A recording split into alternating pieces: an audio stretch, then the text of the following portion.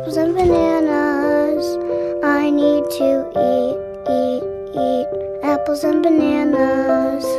Why can't I eat, eat, eat apples and bananas?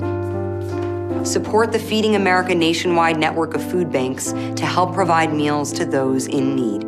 Join us at feedingamerica.org.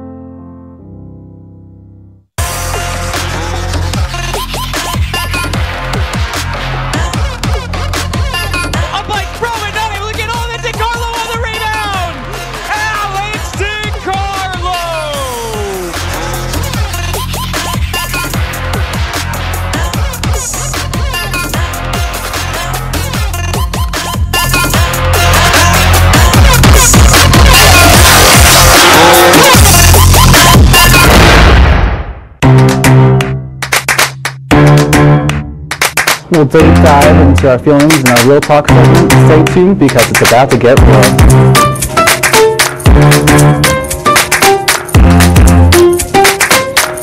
It could be your last chance to see one occur for two decades, as the next time one will be invisible over the continental U.S. Maybe 84.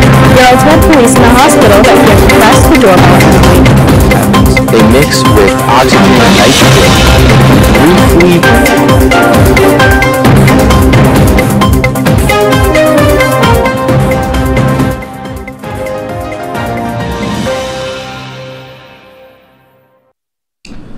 Welcome back to the show. I hope you enjoyed that break as much as we always do. Oh, we always love those we always fight during the breaks, don't we? Yeah, we always throw hands, just go. Yeah. That's why he has a bloody nose. Uh, that okay. Let's get ready for our next segment now, shall we? So for this new segment, Austin goes out into Marano Campus Center asking a really important question. Now, unfortunately, I could not be there for this segment as I was sick, but we had a special guest help out. Who was that special guest? Well, let's find out. You were sick. Hello, sir. Uh, I just got a quick question.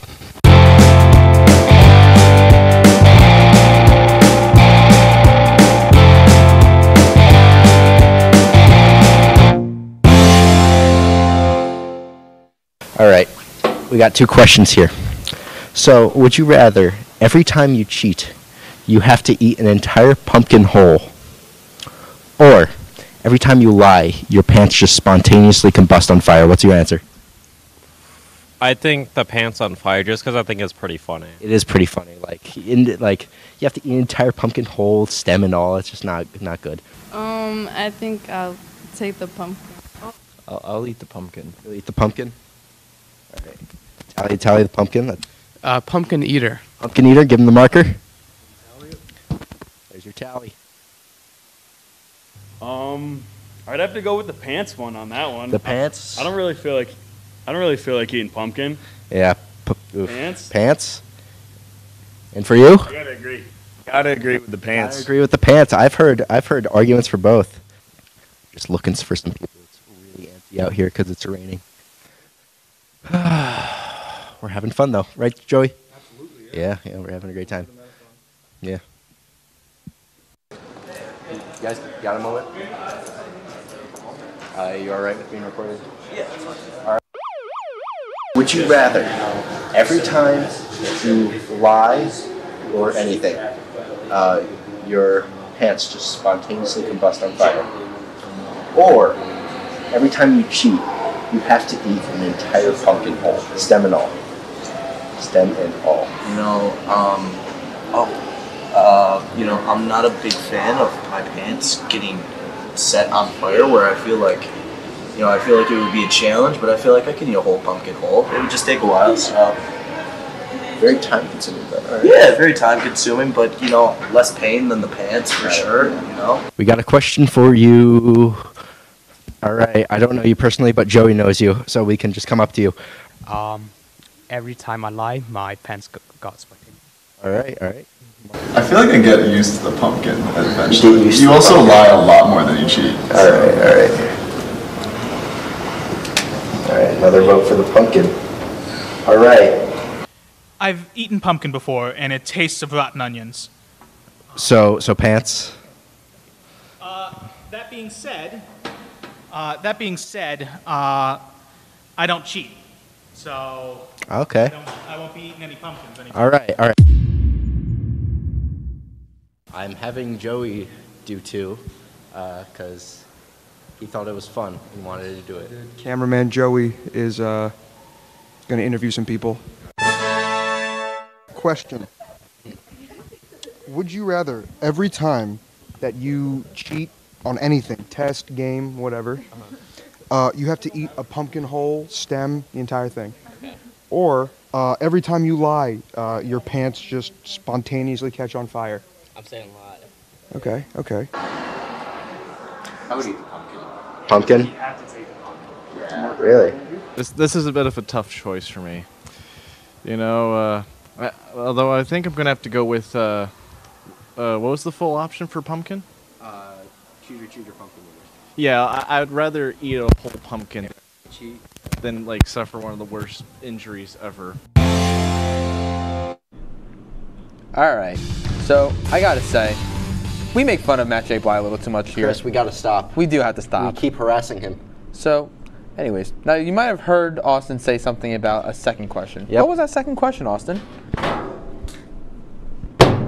The second question is whether I should shave or not. As you can see by the results and by my facial hair, people told me to keep it by a landslide. Mom, I'm sorry. Well, let's just see them talking about it. Let's roll the clip.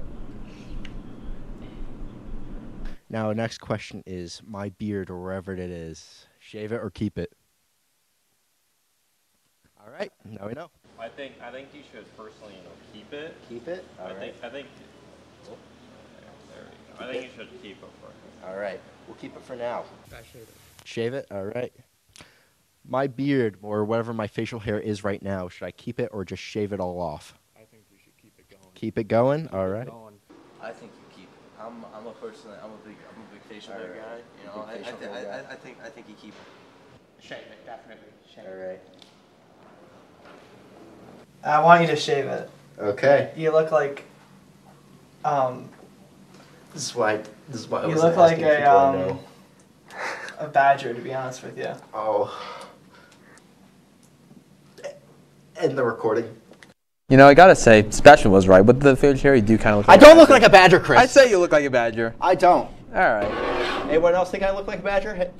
I think I think so. Stop raising your hand. Uh, okay. All right. Studio thinks that he's a badger, but that's okay.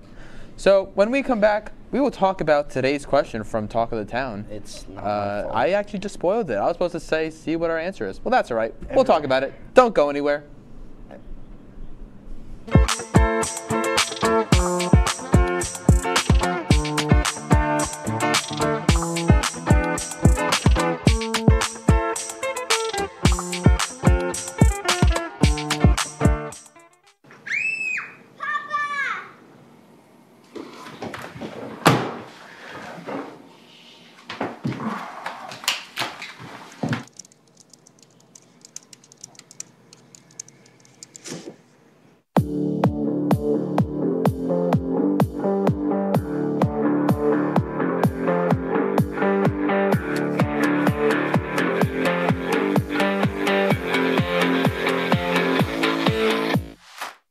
Say, President Stanley, whenever there's bad weather, who would you turn to? I'd turn to Storm Team 10. No, right but you've got to say it like this Storm Team 10. Say it with me.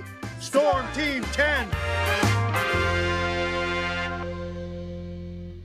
What's what's going on? Yeah, it's dude. This we go on at like 11:30. It's like No. What do you mean no? It's, it's 10:30. 10:30. Yeah, it's 10:30. What do you mean it's 10:30? Hey, don't touch that. That's my ladder. Hey, man. Whoa. You know this book was already discounted 10%? Wow. Wow. Get a close up of that one. Matthew, Broadcast news. Look at that. Can we go back inside? I, I want to sleep in the studio again.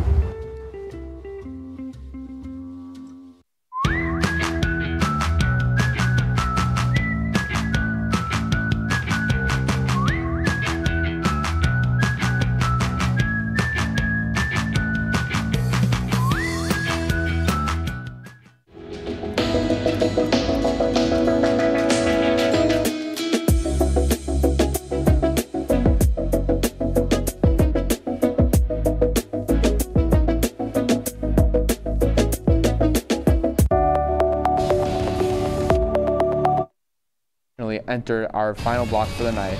But that's okay, because we have one more segment for you guys. We got answers about a question from around campus today. What is our answers? Let's talk about it very quickly.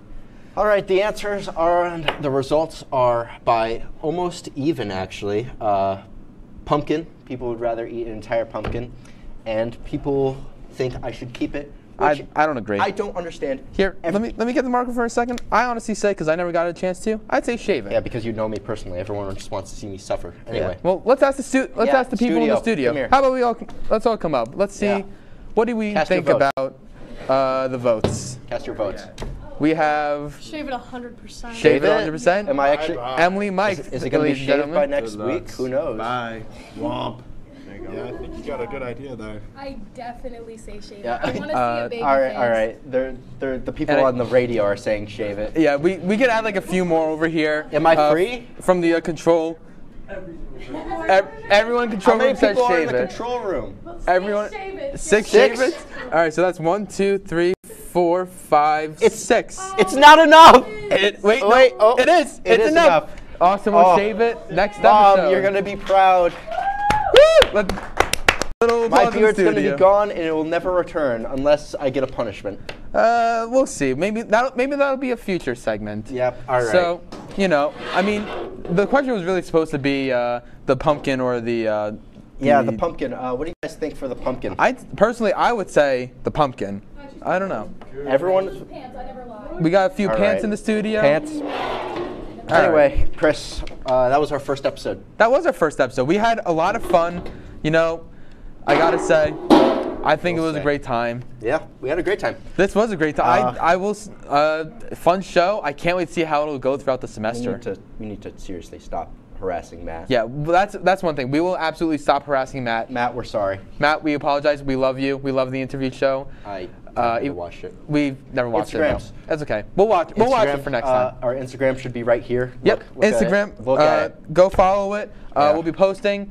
Uh, thank you guys so much, and we will see you in the next episode. Yes, we will. We have 30 seconds. You you just did that for no reason. How do you feel? I feel good. Good. Have a good night, people. We'll see you.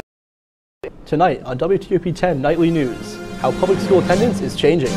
And why you might have heard so many sirens in town yesterday. Plus, the outpouring of support following the deaths of two Syracuse police officers. WTOP 10 Nightly News starts now.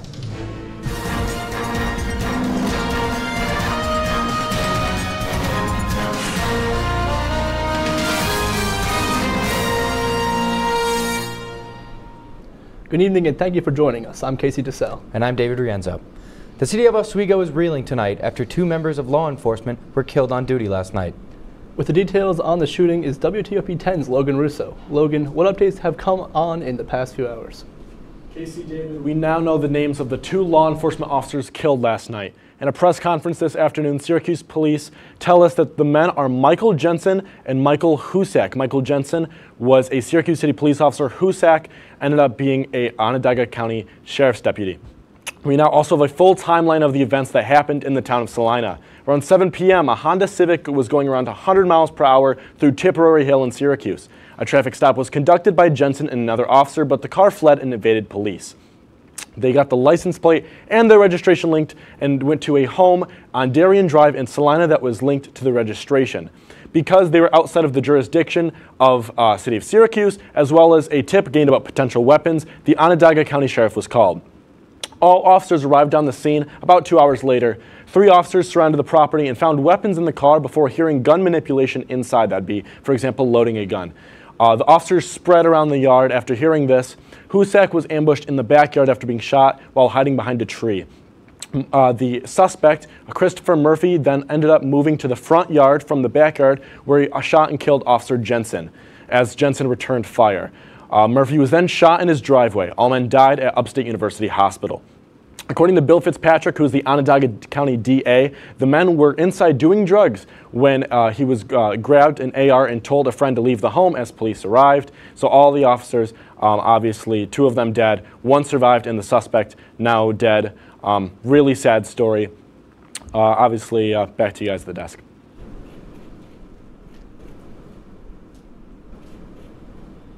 Oswego Mayor Ro- Robert Corradino is praising the fast response of emergency services to, to a water incident in the Oswego Harbor. Yesterday afternoon, emergency crews received call about the possibility of a person in the water near the Best Western Hotel. Oswego Fire and Police immediately began rescue efforts. Personnel did not locate anyone in the water and set up a strategic search grid. Search efforts were affected by the strong currents in the Oswego River. At this time, the search efforts has been negative and there are no reports of missing persons. Anyone with information about this incident should contact the Oswego Police at 315-342-588120. Mayor Corradino is allocating $50,000 from the Oswego Police Department's budget to ramp up quality of life patrols and special investigations. The funding will increase the number of officers patrolling city neighborhoods on the weekends while also devoting more time and personnel to homeless outreach programs. These outreach programs will be enhanced by the assistance of the department's new mental health clinician. Res- residents can accept, uh, expect to see more foot and bike patrols in the downtown and waterfront areas to address previous complaints and concerns. Between now and April 28th, Oswego University Police will remind the campus community of the importance of wearing seatbelts with their Click It or Ticket campaign. The department regularly participates in a spring traffic enforcement and awareness campaign, with the focus this year being on seatbelts. In 2021, over 11,000 passenger vehicle occupants were killed in crashes due to not wearing their seatbelt. The Lakers completed 50 hours of community service last week to celebrate 50 years of Division III athletics. SUNY Oswego joined hundreds of, of Division III colleges and universities across the country. The teams that participated in Oswego were women's hockey, soccer, swimming and diving, basketball, volleyball, and men's lacrosse and soccer. Organizers said the campus can expect to see many more activities from the Lakers in the community. After a rainy weekend, the weather certainly seems to be getting warmer. Let's join Storm Team 10 meteorologist Brennan Rice outside of Marano for our first check at the weather. Brennan, how's it looking out there? Thank you, guys. Currently, it's a little bit chilly out here. It's in the 40s, but we got clear skies and we've been living up that nice sunny weather lately. But they may not be here to stay. Coming towards the middle of this week and later this week, there could be a chance for some more rain and even a thunderstorm or two. We'll have more of that, plus your seven day forecast coming up after the break. Until then, back to the desk. Thank you, Brennan. Today marks the start of Work Zone Awareness Week across New York State. Governor Kathy Hochul announced that this Wednesday, state landmarks will be lit up in orange to honor highway workers.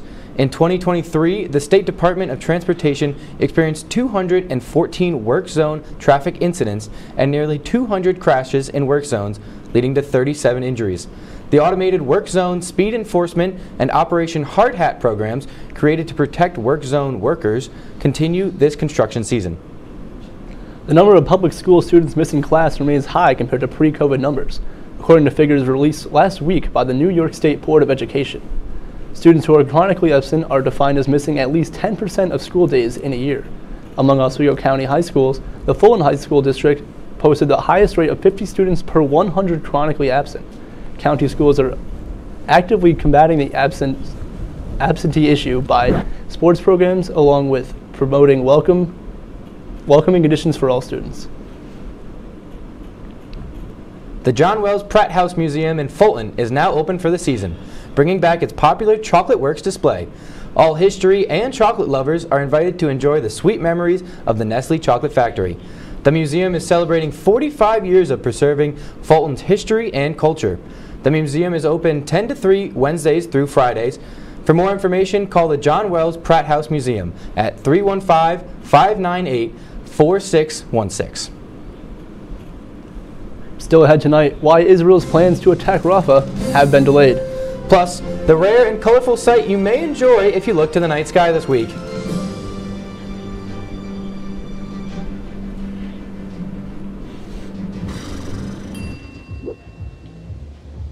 If you need to do something to feel okay to drive, you're not okay to drive.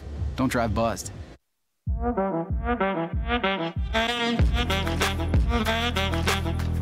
Shine on that boy. Look at the bling. Look at the, do we got a diamond tester on? Yeah, that's getting bad. Yep. 10 out of 10 recommend on Yelp.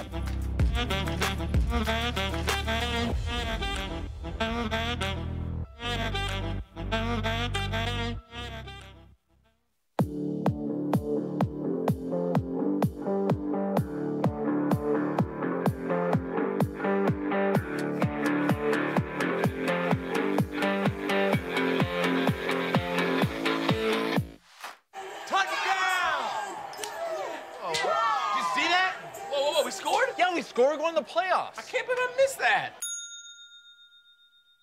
Every time I'm buzzed, I spend too much time on my phone.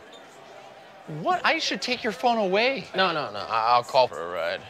Hey, why does my face look like that? I'm, I'm playing with these new face filters. Okay, you know what? Yep, that's mine. But I need that back. No. Kevin!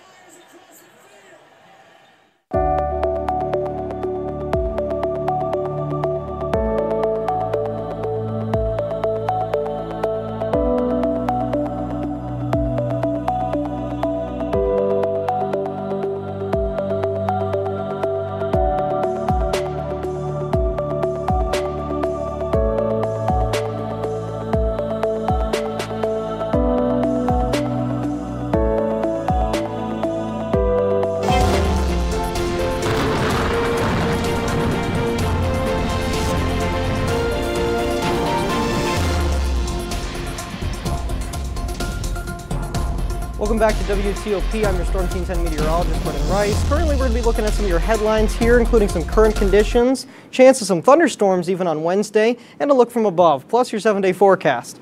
As we look around the state right now, temperatures are pretty mild in the 50s towards central New York. Here it's 49 in Oswego. Head towards western New York, it's in the 40s, 50s continuously. The only place it's actually somewhat warm is down in Kingston, which you can't see right now, but it's in the 60s down there.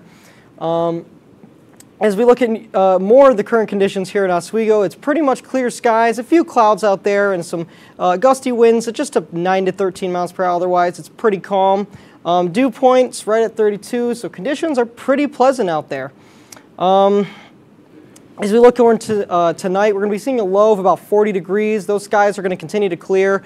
Um, and still, that wind is going to remain uh, relatively mild as we head into tomorrow. We're going to be seeing our high of around 53 degrees, that wind coming from the northwest, and sunny skies as that high pressure continues to make its way over us. Now, if we're looking at the out the door forecast right now, seems like tomorrow, again, pretty mild conditions. Starting the day off by 9 in the morning, about 45 degrees. We start to get towards, uh, in the early afternoon, those uh, mid or sorry, lower 50s there. We might even get towards that 53 high uh, about 4 p.m. From there, it starts to taper off. And as we look towards ahead, we could be seeing some more rain in the forecast, unfortunately. Not really anything for tomorrow to worry about, but Wednesday in the afternoon, we could be looking at a chance for a thunderstorm or two.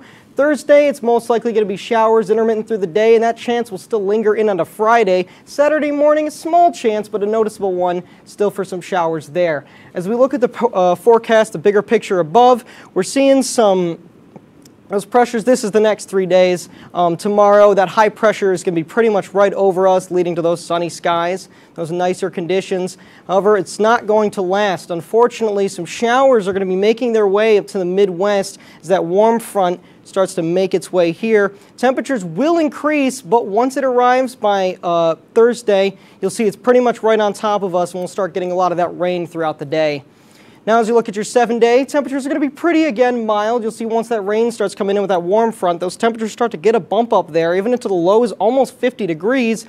Um, those rainy conditions, again, Wednesday, some chance of thunderstorms, continuing Thursday and Friday for some rain. Saturday, small chance, mostly clearing into partly sunny skies. And by that weekend, temperatures start to dip off a little bit, but the skies kind of clear. That's all from me. Back to the desk. Brendan, thank you. Israel was set to move toward a ground offensive in Rafah this week, but had to delay those plans because of Iran's attack. The Israeli Air Force was set to start dropping leaflets on, part of Ra- on parts of Rafah in preparation for a ground attack on Gaza's southernmost city, where more than a million people are currently sheltering. One Israeli officer said Israel still intends to carry out the attacks, although they are not sure when.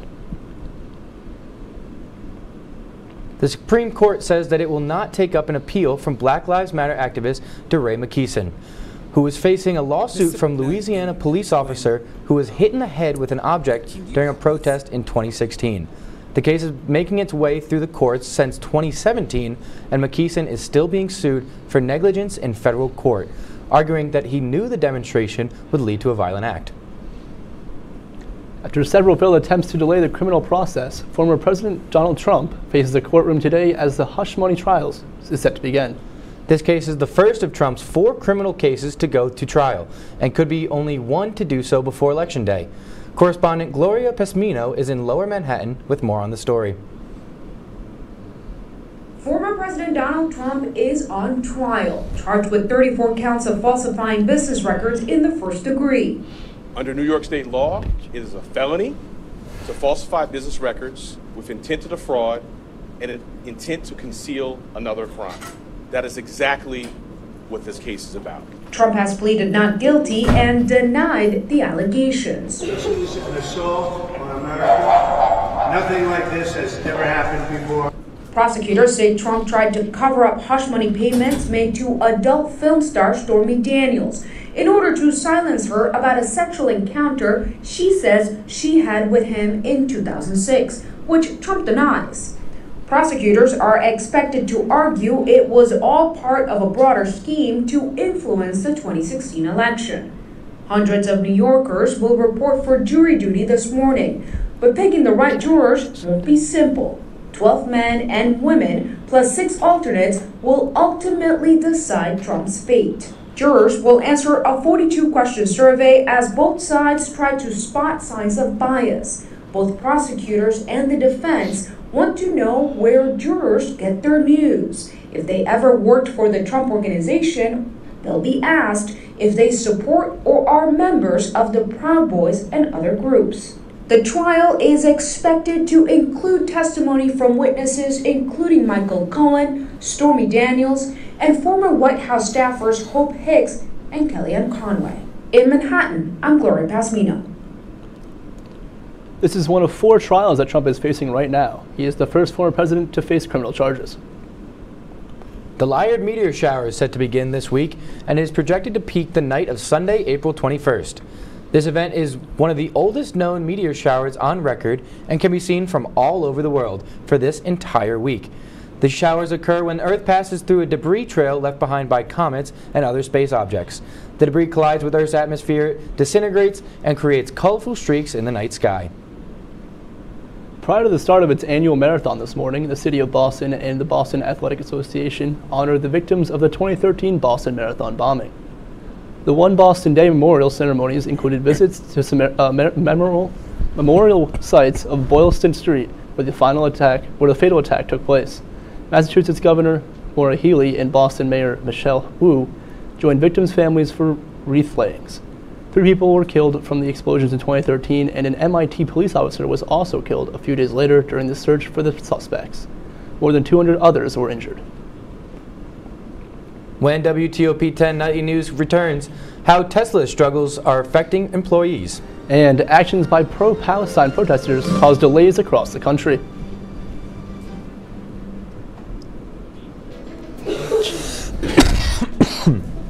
mm, I've been on that.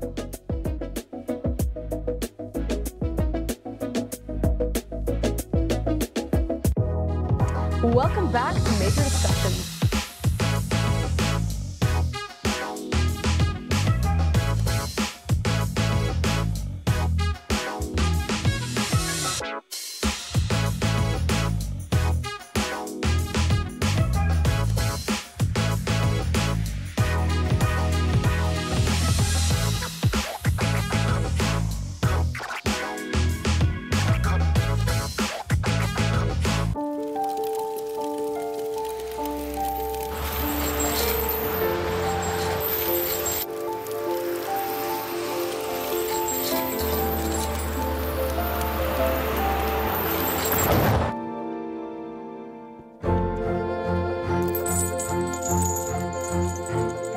Did you know dragging chains can spark a wildfire?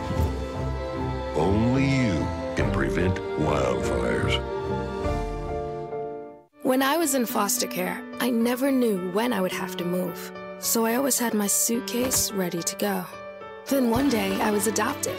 My new parents opened their hearts and home to me. My parents cook my favorite breakfast for me every morning. My parents take me on trips I never thought I would go on. They gave me a home and an even better reason to use that suitcase. My parents aren't perfect, but they're perfect for me. Hey there, I'm Al Roker, class of 76. Yes, way back in 76. Back when the earth was cooling. You're watching WTOP. Welcome back. In consumer news, Tesla will be slashing 10% of its workforce, according to the Washington Post. CEO Elon Musk has informed employees today of the layoffs, citing the need to reduce costs and increase productivity. This comes amid a lower demand for electric vehicles. Tesla reported a sharp drop in vehicle deliveries in the first quarter, while their stock has lost a third of its value this year. This morning, pro Palestine protesters caused disruptions in both Chicago and California. Chicago protest protesters blocked Interstate 190 outside of Terminal 1 at the O'Hare Airport during rush hour. Many people heading to the airport ended up leaving their vehicles and walking in order to catch their flights. In California, protesters completely blocked southbound lanes on the Golden Gate Bridge. Police arrested more than a dozen people between the two incidents. It's tax day. Tax filers have just hours left to file a return or request an extension. Otherwise, you might end up paying an additional fee. That fee could climb to 25% of the taxes you owe if you wait too long. Amy Kiley reports on how to file or get an extension quickly. Fastest way to get your refund is to electronically file and to receive that refund through a direct deposit. It's not too late to file a tax return or request more time. Some people automatically get an extension. Residents of Maine, Massachusetts, and Washington, D.C. have an extra day or two for observed holidays. People who live or work in federally declared disaster areas can check their deadlines at irs.gov. It's possible to request an automatic six month extension for free through an IRS partner on the agency's website. The deadline for that is today, and it involves paying estimated taxes. For those who want to file before midnight tonight, The IRS this year is attempting a direct file with multiple states. People not in direct file states can check out the IRS's trusted partners. Those with an adjusted gross income of $79,000 or less can file with them for free. Others can use paid services. Experts urge taxpayers to enter information correctly. Something as simple as just, you know, fat fingering your social security number, you know, could really cause you a headache. Watch out for scams. If you didn't initiate that contact, go to the source and avoid late fees. Sometimes people get scared and they're like, oh my goodness, I owe money, I'm not going to file. And for that, we really encourage people go ahead and file. I'm Amy Kiley reporting. If you know you're due a refund, you have some wiggle room. The failure to file a penalty won't apply to you. Two new reports show that coral reefs around the globe are experiencing a fourth mass bleaching e- event, which could become the worst in recorded history. 54% of the planet's coral reefs have undergone bleaching in the past year. The last 12 months, being the hottest in history, have contributed to the problem. Experts say if the ocean temperatures don't return to normal, mass coral reef death could threaten multiple species and food chains. Coming up in sports, we'll hear from Ryan Joyce. Ryan, can you give us a quick preview? Oswego Sports nearing the playoffs. Masters has their winner and a legend retiring. Coming up next on WTOP 10 News.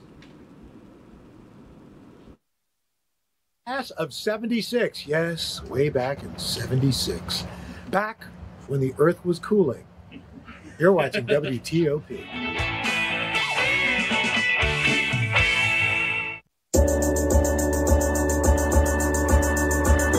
The Candlelight, Candlelight, Candlelight, the late Show with Chloe and Anna.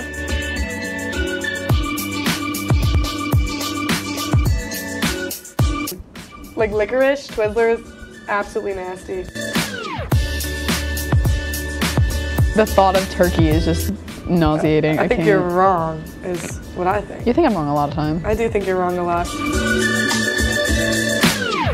When you look at the number of disasters in the U.S., chances are every area will deal with some kind of emergency in the next decade. And between school, sports, and social lives, chances are you won't be with your kids when it happens. Will they know what to do? Ready.gov/kids has the educational tools and information to make the conversation easy. When the time comes, chances are they'll feel prepared, not scared. So talk with your family today.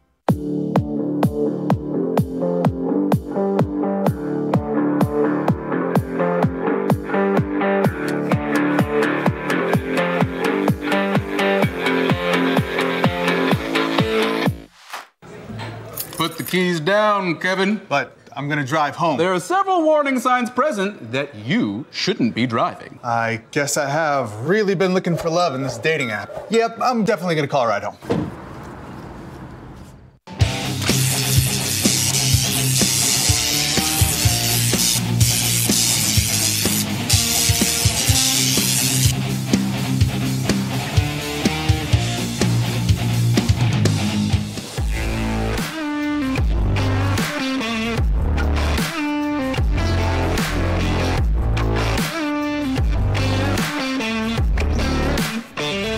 Welcome back, everyone, to WTOP 10 News. I'm Ryan Joyce with your Monday Night Sports Report.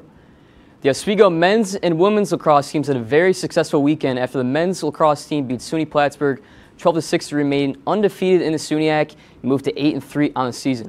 Corey O'Connor almost outscored Plattsburgh by himself with five goals on the day and two goals from Liam Sexton as well. On the other side, the women's lacrosse team took down the lone undefeated team in the SUNYAC, SUNY New Paltz 14 13. The big three of Bella Lembo, Julia Quirk, Madison Davis scored 12 of Oswego's 14 goals as they improved their playoff seeding on the season. The Oswego men's baseball team improved their play since the non-existent conference play with two out of three wins versus SUNY Brockport over the weekend. The Lakers had a wacky schedule as they played two games in Onondaga Community College in Syracuse and one game in Auburn, New York. The Oswego pitching staff is what really stood out this weekend as in game one, Jake Sanders went four innings, only allowing two runs. And in game three, Jonas Shear went seven innings, six strikeouts, and three runs. The Lakers moved to 13 and 9 on the season and 4 and 2 in the conference. But Scottie Scheffler remains dominant in the golf world as the world number one with the 2024 Masters in easy fashion. A closing 4 under 68 lifted Scheffler to 11 under overall in the day and sealed his third win in just over a month. This is Scheffler's second Masters win in two years, and he becomes the fourth youngest player to achieve the feat behind Tiger Woods, Arnold Palmer, Jack Nicklaus, and Seve Ballesteros. Throughout all the chaos, Scheffler's wife Meredith is expecting the couple's first child any day now. Been a couple good days for Scottie Scheffler. And in Obi. In professional baseball news, longtime Yankee radio announcer John Sterling is retiring immediately. As we'll start off with the Knicks. Playoff seeds for both teams. Oh, Retiring immediately announced by the Yankees on Monday, Sterling, who is leaving citing health reasons, elapsed a 64-year broadcasting career with 36 years in the Yankees broadcast booth and called 5,420 regular season games and 211 postseason games, including five World Series titles. The Yankees honor Sterling with a ceremony pregame this upcoming Saturday before their game versus Tampa Bay Rays. But now we move over to the Mecca. Last game of season for both teams. Knicks playing for the two seed, Bulls playing for the play in spot. As we'll start it with the third quarter, Jalen Brunson with a three point shot over the hands of Nikola Vucevic. Brunson on the year averaging 28.7 points per game, third all time for a Knick behind Carmelo Anthony and Bernard King. And that with the contact, Jalen Brunson gets it to go in the fourth quarter. Ties just went up 40 points, 8 rebounds, 7 assists for Jalen Brunson. Big game for himself as Tie game now. Coby White up and under gets nifty with that one. 26 points in a resurgence year for Coby White. And Jalen Brunson loses the ball, has a chance to win the game for the Knicks. Rims in and out. And the Knicks fans are going to have to watch another five minutes of basketball, see the playoff hopes for both teams. But Jalen Brunson double team leaves Donte DiVincenzo wide open with the three point shot.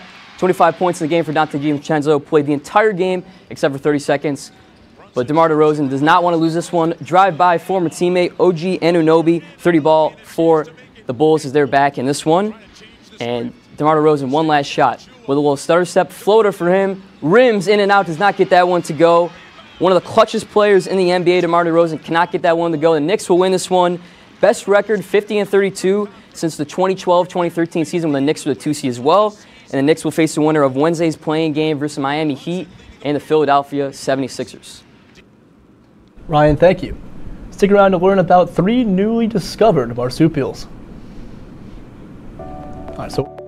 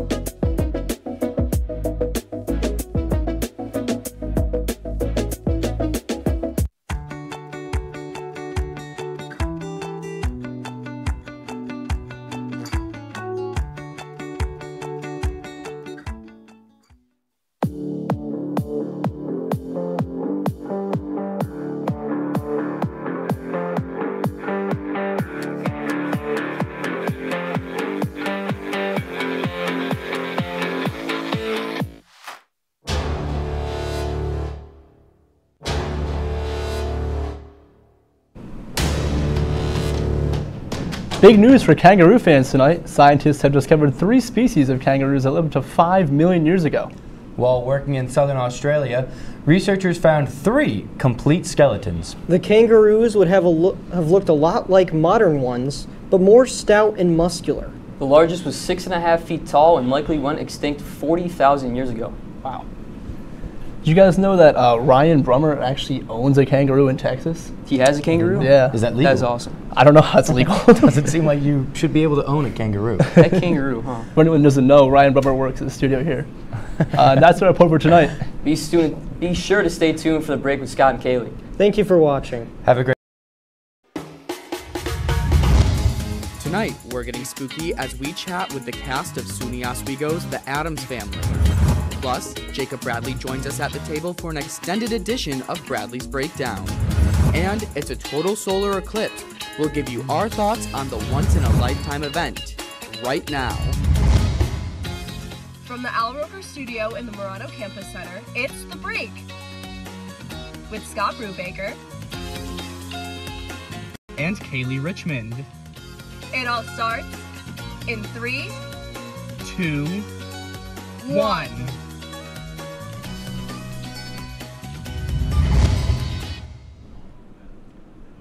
Hello and welcome to episode number four of The Break with Scott and Kaley. As always, I'm Kaley Richmond, I think, and I'm joined by my trusty you co-host, Yeah, Scott Brubaker. Scott, how are you today? I'm doing great. How are you? I think I'm doing great. You know, I think? never know. Well, that's not very convincing, Scott. No, sorry. Well, you know why I am great is because today, for the first time this season, well, we've had a mini live studio audience the entire time, but Right. we have a we have We a have a a fairly live big live studio studio audience. So yeah, tonight. Woo! It's Brian Thank you. Burrows. There's my sister Maria, Maria. Ryan Joyce, and Zach Malamud. Yay! Thank you guys for coming. Special announcement about Zach Malamud. Yes, Zach Malamud uh, officially announced he has a new job after graduation. He will be working as uh, in production for the NFL. He's moving to LA, so we just wanted to shout him out and say congratulations! Yay! And real quick before we before we start talking about the um, our first story, I just wanted to point out our orchid that we have here in the middle. Yeah. It's National Orchid Day. Yes. Um, So we just wanted to cut- I celebrate. well, I just want to give the quick story. We'll cut the clips a little short, but um, we so this was a gift to me from my grandmother. It was originally a gift to my great grandmother. Um, my great grandmother had Parkinson's, and she used to shake, and the table would like the orchids would like fall off, and Mm. she never knew why. So my grandma gave her this one instead. Oh, that's such a nice story, but All it's right. beautiful. Thank you. Should we move on? Yes, we should. All right. So last week on April 8th, SUNY Oswego had the day off to view the total solar eclipse. But Kaley and I did not have the day off. That's right, Scott. So on Eclipse Day, Scott and I hosted Oswego Now's 2024 Eclipse the- special. the yeah, I got a little Be Real notification, which was an hour-long broadcast that encapsulated Oswego's Eclipse experience. So, Scott, what was it like to host a broadcast such as this? It was really fun, you know. I we we'd done special event coverage before when you and I did Election. Uh, election night Yes. last year, and I just thought it was really cool, like to do something like a little different. Like we do a lot of the politics stuff here in the news, so Mhm. like being able to do something else was really fun. What did you think? For sure, yeah, no, it was awesome, and I, I we had mentioned this before that it's basically going to be. I'm gonna move this out of the out Thank you. It's basically going to be the break Eclipse edition. Yeah. Because it was just us yapping, but it was great uh, to have like a big final broadcast that all of us worked on as a class, and you know it was great to co-host with you. I I feel very comfortable with you on air, so. So do I. Yeah. And the eclipse itself was awesome. I know it was such amazing, such an amazing experience. So so glad to have done that. But speaking of final broadcasts, this is our last regular episode of the break. But don't worry, you haven't seen The Last of Us yet. So in a few weeks, we're going to air our hour-long farewell episode uh, as we say goodbye to the break and look forward to what the future holds for us. It's we do have a little shout out to our friends at the Kinda Late Show. Got the Kinda Last Show here. You'll but see why. Kaley, I know you just joined the show, but how are you feeling um, this since this is our Kinda Last show? Yeah, this is kind of our last show, but it, it's very bittersweet. You know, I'm very thankful to be here, and you know, I'm happy that you've asked me to be your new co-host. I could never be Kate Donahue, but um, We you miss know, you, Kate. We miss you, Kate. Um, but I've had so much fun. Uh, we've done so many f- like fun things, so I'm very happy to have had this experience. Scott, this show has been your baby. I know, and I'm just trying to live go? in the moment of thinking this is not the last one because I know next time. I keep telling myself I'm not Yes. going to cry. I No. think we all know Don't. that there's going to be Please some don't, then I will cry. episode, and going to be. We have a lot of stuff already planned for it, which is awesome. Yes. So let's move now over to the West Coast as it was the first weekend of the Coachella Music Festival. Now I really don't know much about Coachella, so why don't you tell us a little more about it? For sure. So Coachella is a massive music festival that takes place every year in Indio, California, which is essentially the desert. And some of the biggest names in music performed this weekend: Lana Del Rey, Tyler the Creator, Ice Spice, Sabrina Carpenter, and so much more. And even though she wasn't performing, my girl Taylor Swift and her beau Travis Kelce were in attendance. So Scott, just by looking at this list of performers, who is someone that you'd like to see perform someday? Well, I see no doubt up there. Please correct me if I'm wrong, but that's with the uh, Gwen Stefani, Yes. right? Yeah, she performed think- this weekend. And I love Gwen Stefani, so I would have liked to see that. Me I feel like the kind of band that would like be there would be like AJR. That's like my favorite band. I Yeah. don't know. That gives the vibe of Coachella. For sure, yeah. I, ha- I do feel like AJR has performed at Coachella before. I don't know about this year, but I think in the past they have. But they're coming to like Pennsylvania and like the tri-state area soon, so the goal's to go. Yes. Fingers crossed. I hope you go. I really you. do. no, so now you know all of this talk about music festivals is kind of making me hungry. Are you hungry, Scott? You know what I kind of feel like it's time for? A grilled cheese. A grilled cheese. Well, it's Friday was National Grilled Cheese Day, so I thought that we'd celebrate right together on air with a grilled cheese sandwich from Crossroads. Shout out Crossroads and MCC. We so, ate half earlier. So. Yes. So Scott, what is your favorite way to eat a grilled cheese? So Like, I get mine. I do white bread Mhm. um, with pepper jack cheese on it, Ooh. which is really good. And then I have a little mixture of ketchup and hot sauce. Okay, interesting. You What know, about you? Yeah, I um, I'm basic. I like wheat bread and I like cheddar cheese, or I also like pepper jack. So it was kind of a choice between do I do cheddar or pepper jack today? What'd you get? Um, cheddar. Cheddar. I really Can't- don't want to eat this with my mic on. Right. No. So I might I might wait to. Oh, okay. I guess we'll just eat. It's the mukbang, the mukbang part Hear- two. Hear that crunch. But, little uh, ASMR. We'll save the rest for commercial. break. Exactly. That's really good. Oh my god. I know. So good. Yeah. Hang on.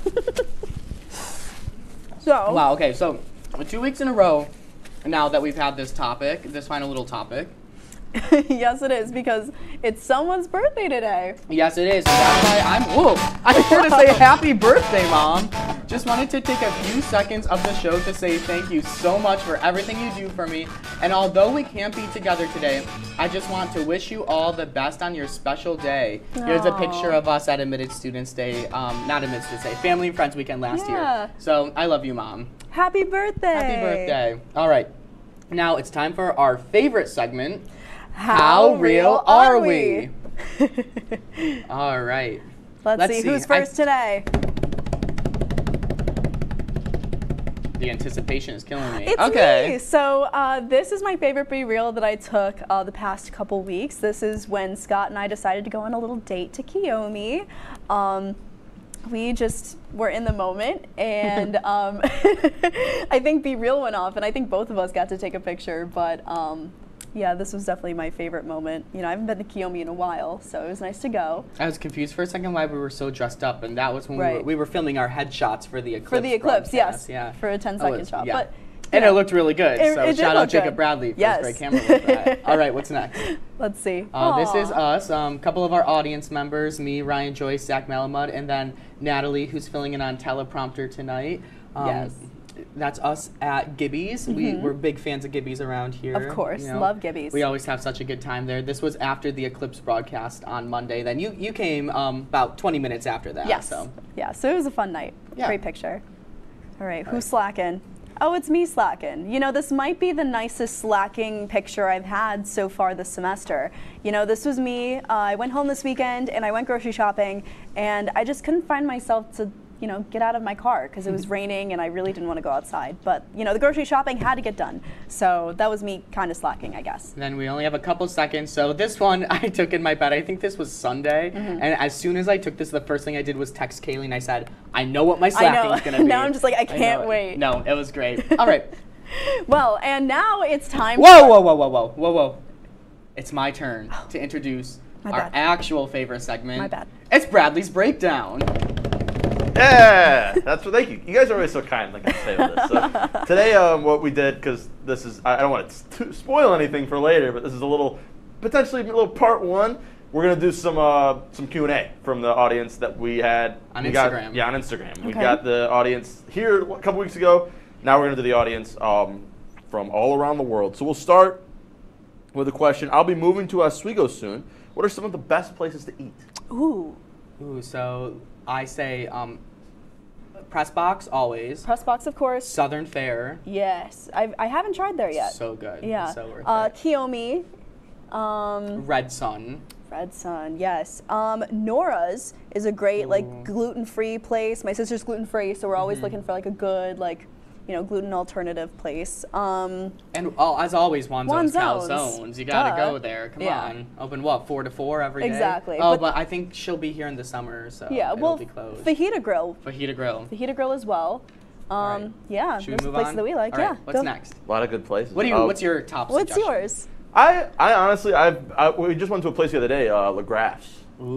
That's got a Oh. really good burger. It's the first time Okay. I ever went out with Matt Sharamita and, and Co. So it was fun. Nice. Um, next one, we were talking about music with Coachella. So what are the types of music you both are into right now? Bands, artists, songs, etc. We'll answer this one a little quicker so we can answer a lot. Yeah, so I guess right now. Five second answer. Okay, uh, Chappell Roan is someone who I'm listening to a lot right now.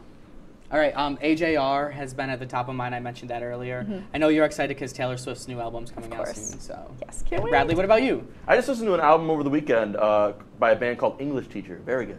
Oh. Very good. Yeah, Matt. Another one that Matt Sharamita suggested to me. Matt Sharamita. Uh, let's ask another question. Uh, what's the worst movie you've ever watched? Ooh. Oh, that's hard. Oh, my sister will remember this one. She's in the audience. You remember when we watched a show called a movie called like a Dog Year, and it was re- we watched it with my mom, and it was just so bad. Yeah. So I don't I don't have any way else to describe it. Sorry to the producers of it. But. Right. Um, I would have to say, there's like this movie about like spiders. It's called like Arachnophobe or something like that. I'm very afraid of spiders, so I'm gonna say that's my least favorite movie that I've ever seen. Yeah, I've always avoided any movies with spiders, but mine was one I watched for the summer. It's called Beau is Afraid. Mm. Awful movie. Made no Okay. sense. It was three hours too. Interesting. All right, uh, got we'll- time for one more. Okay, Last we'll one. go back to music. What's the best go-to karaoke song? Ooh. Oh. Well, Scott We and I can answer this. Can we say this? Oh wait. Uh, Three, two, two, one. one. Valerie by Amy Winehouse. Well, sometimes I go out. Okay, we can. Okay, stop. no more, no more, no for copyright reasons. You know. Yeah. Okay. What Bradley, about you? What's your go-to karaoke? I'm a big uh, American Pie fan. Oh. Love the whole version. Yeah, so all is Ryan songs. Joyce. All right, members like that one. You know. But yeah, that's all I got for questions. Okay. Right. Thank you, Well, Bradley. thank you very much, Bradley. yeah. We'll see know, you later. Word on, yeah, I was gonna say word on the street is Ooh. you're not going anywhere today. Maybe not. We'll have to see. Yeah. All right. So coming up, we are sitting down with student actors from the Addams family to see how they feel about their productions coming up this week. We'll be right back after this. Would you like to try snacks from faraway lands? Or snacks with bizarre flavors? How about snacks in new ways? Or snacks you've never tried before? You don't have to go far to find these snacks. they can all be found here at Snacks on West First Street.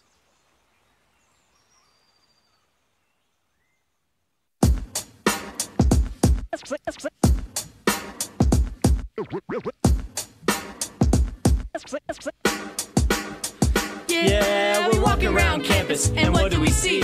All these clubs are looking. They looking for me. There's hockey, There's improv, so much to see. So let's, go try them out and see how they be. Come on and please watch. Our embarrassments free. Tune in to amateurs on WTOP. Happy Friday, Lakers, and another beautiful day here in Oswego, New York. I'm DJ Don Perone, and I'm happy that you're starting your weekend off right listening to WNYO 88.9 FM, the Laker Radio Network. I said, darling, can you see? There's no room for us. There's no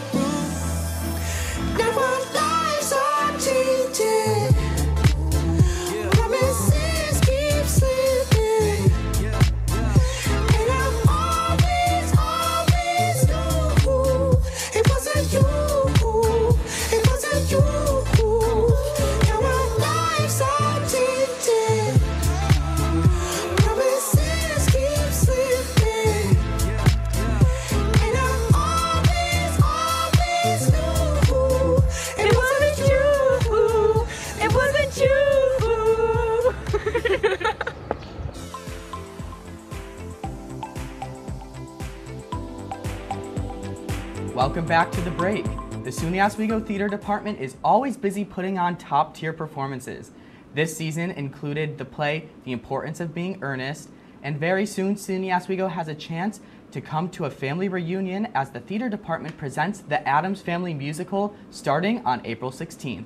That's right, Scott. Here to tell us more about the show and their journeys through the process of the show is Ian Katz, who's playing Gomez Addams, and Cameron Weber, who is playing Morticia Addams. Ian, Cameron, Ian and Cameron, welcome. Thank you for joining us today. Thank you for having us. Absolutely. So, the cast and crew have been working on this show for the whole semester, and opening day is nearing closer by the day. How are you both feeling?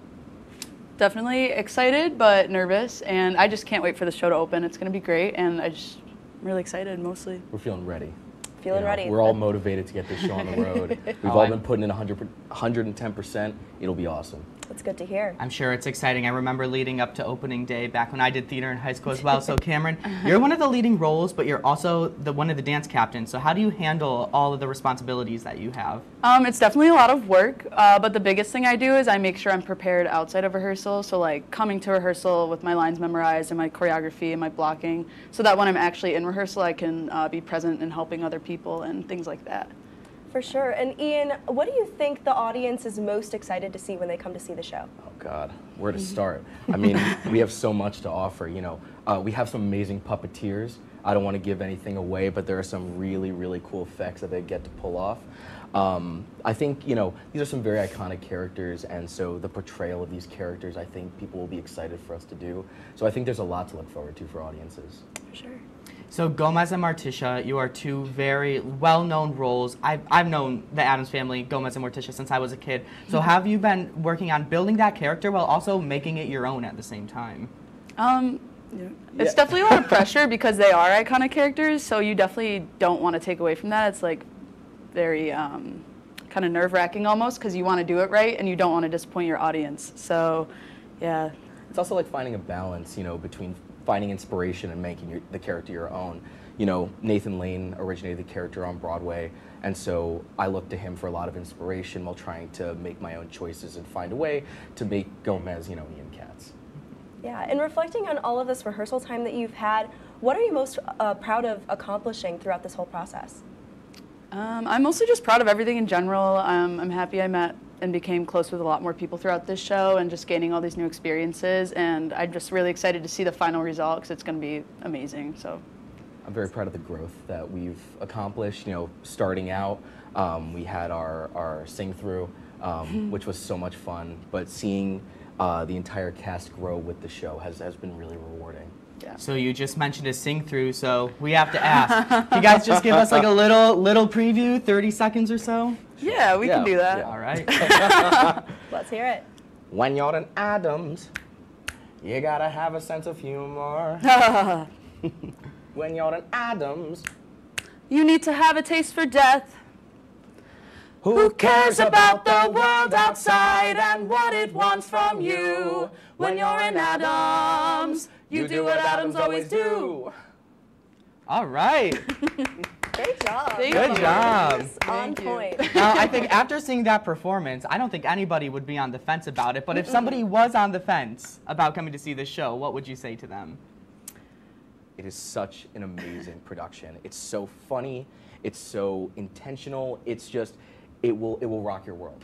Yeah, there's just a lot going on between like uh, like all the actors on stage and the lighting and then the music that's playing and the choreography. It's just like a lot of pieces put together, and you're just gonna be like immersed into the Addams world as soon as you walk in in the doors. So.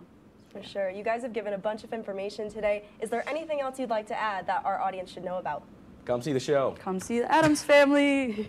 Can't wait. It's We can't exciting. wait. I I hope to be there. Yes, I will definitely be there as well. We're both admitted theater kids. We've Admitted expressed theater this on the kids. show plenty of times. we so- love the Addams family too. So break a leg, both of you. Yes, in the upcoming Performance. Thank you again for joining us today. And you can see both Ian and Cameron and the talented cast and crew of the Addams Family in Waterman Theater starting Tuesday, April 16th at 7.30 p.m. and will run until Sunday, April 21st. To purchase tickets, visit the box office website at tickets.oswego.edu.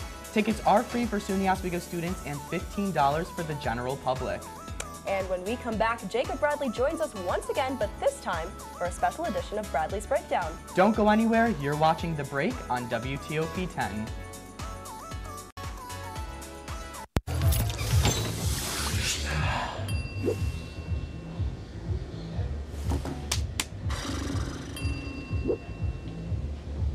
If you need to do something to feel okay to drive, you're not okay to drive. Don't drive buzzed.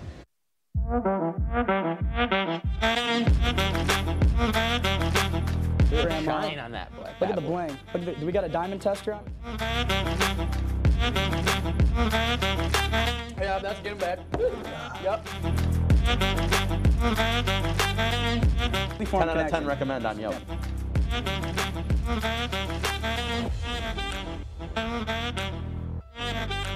Did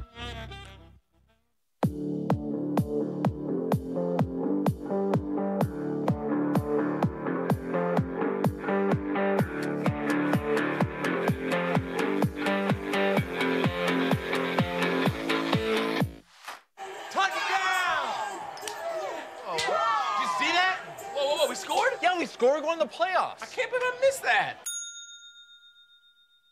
Every time I'm buzzed, I spend too much time on my phone. What? I should take your phone away. No, no, no. I- I'll call for a ride. Hey, why does my face look like that? I'm, I'm playing with these new face filters. Okay, you know what? Yep, that's mine. But I need that back. No. Kevin!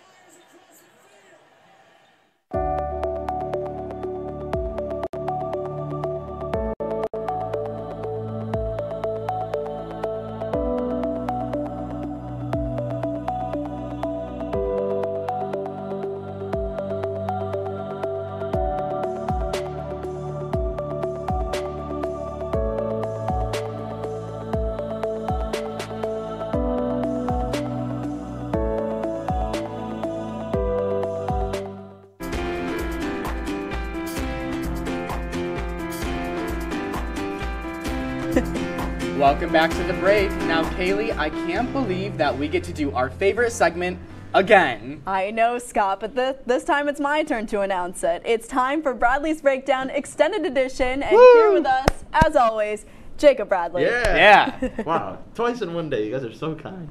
All right. Don't mention it. So I figured we'd do, like you said, uh, actually before the cameras were even rolling, we'd, throw, we'd do a little throwback. We'd play a little game. Okay. Um, so let's do some Glee-inspired game because I know Oh. Scott's a big Gleek, and we figured Kaley will get you more into Glee as well. Okay, so all the right. rules of We're this getting, game. we're getting word you need to check your mic before I need we to check going. my mic. Before we start, Is just need to make sure off. that Bradley's mic is on. Oh you gotta hear him.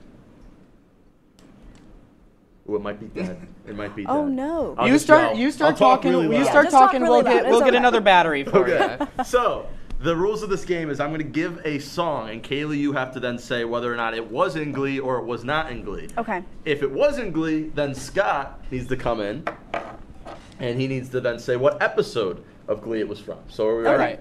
We're ready. Let's do the first song. Let's do it. First song is "Ain't No Mountain High Enough" by Marvin Gaye and Tammy Terrell. Was it in Glee or was it not? I Haley? think it was in Glee. Scott? It was not. It was not in Glee. No, in that would not totally in be a song that they would sing. Sorry. It, All right. Right? I, that's No, it why I, would. picked it. I thought it seemed like it would be. What about "Loser" by Beck? Was it in Glee or was it not? Loser by Beck. Wait, I don't know. What's know it, that what does it go like? Can you get? Can you sing it a little? Yeah. I'm a loser, baby. So why don't you kill me? No, nothing. No, I don't think so. You don't? Do you recognize it? It wasn't. Oh, it was. It was in Glee. See, when I think loser, I think of loser like me. The um, Yeah, like, the, that's what I the thought Glee of. cast I, didn't, original. I don't. I mean, I'm not a, as big of a Glee fan as you, but Sorry. I, it was season one, episode 21. Oh. So I'll have to go back and check that one out. This is Alright. Jesse St. James episode. pretty sure, but- What about "Hey Yeah" by Outkast? I. f- Yes.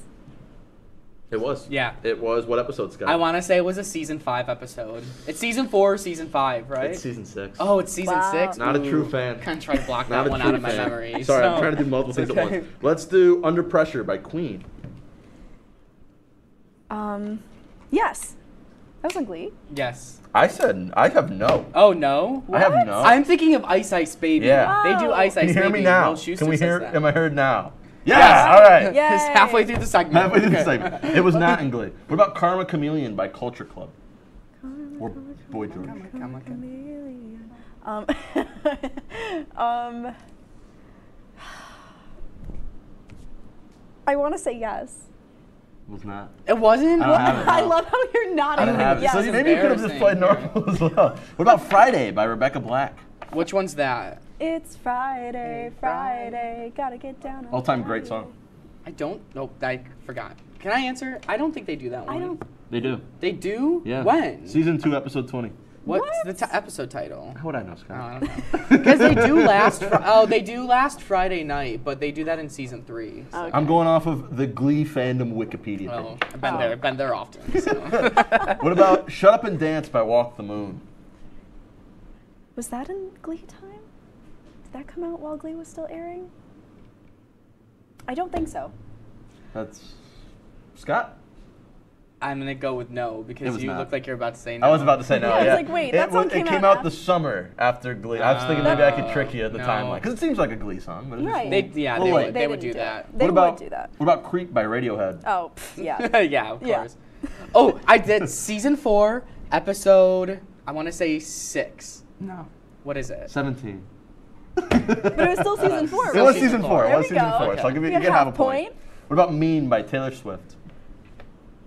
Oh gosh. Um, Probably my favorite Taylor Swift song, by the way. It's a great song. Yeah. More of Um, a cruel summer kind of guy, but well, that fan. that wasn't in Glee. Um, Was not in Glee, no. I can say that. they would. They do sing. Um, what's the one Taylor Swift song they sing in Glee? didn't didn't they sing White Horse? No, I don't. I don't think they've remember. sang- Anyway, we only have I a don't minute, think they've so sang Mean. let's get through a couple more. They have sang "Mean." Oh, they Oh, did. okay. Scott. That's the one in season three. Oh. What episode? I don't know the episode, but Gwyneth Paltrow's in it. Maybe episode twenty. I think so. Had Gwen. Um, what about "Hallelujah" by Leonard Cohen? Would you repeat that, please? Hallelujah. That's so Hallelujah by Leonard Cohen. yes, they. I think they have.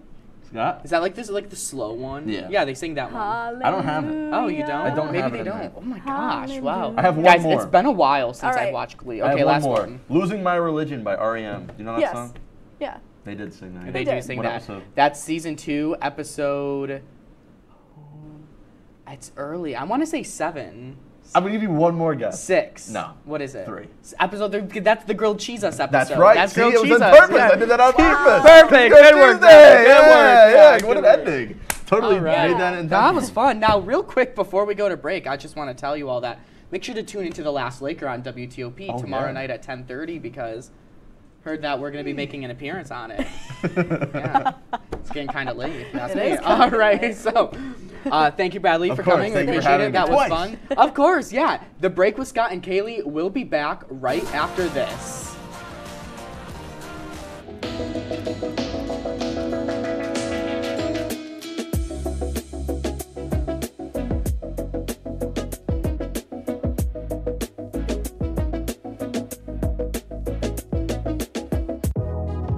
Welcome back to Major Discussions.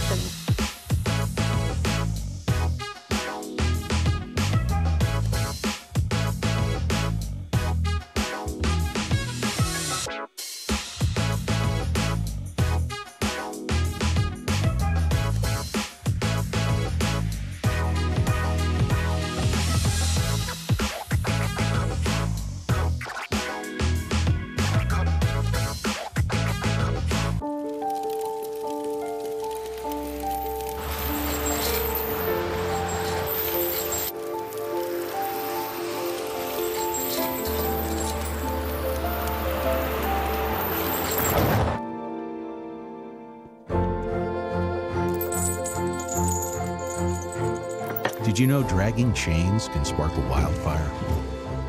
Only you can prevent wildfires. When I was in foster care, I never knew when I would have to move. So I always had my suitcase ready to go. Then one day I was adopted.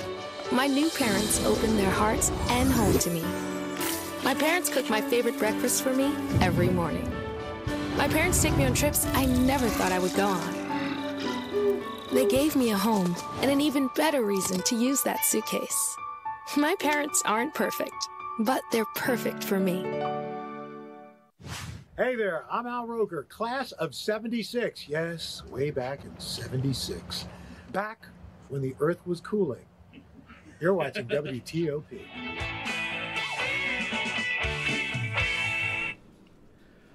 Well, Kaley, it's hard to believe this, but this fourth and final season of ours is almost done. Be sure to pay attention to our Instagram for updates because our next episode is the series finale of The Break. Well, that's going to do it for this episode. Thank you so much for taking a break with us.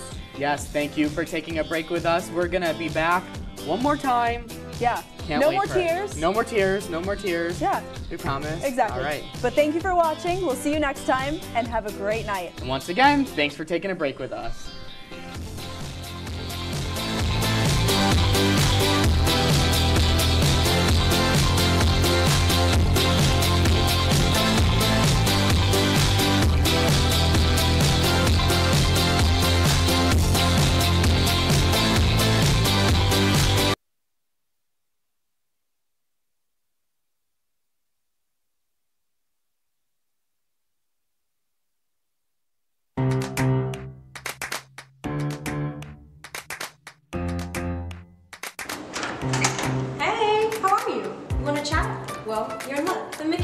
About to start.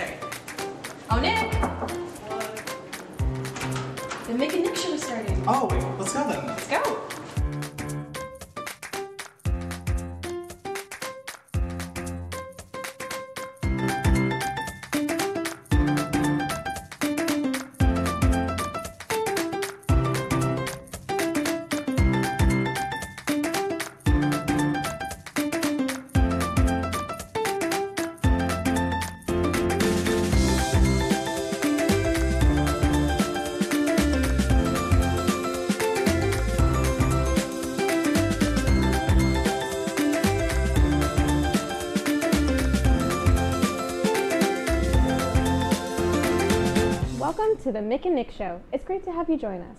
Nick, what are we going to talk about today? Today we're going to be talking about our spring break trips. Then we talk real about how we deal with burnout, and we end with a fun little game of guess what song.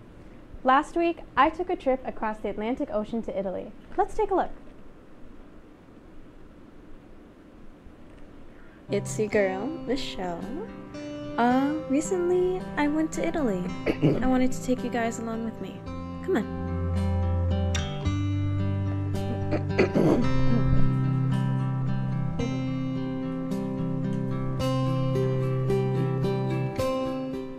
first thought when landing in Rome was that it was much warmer than Oswego.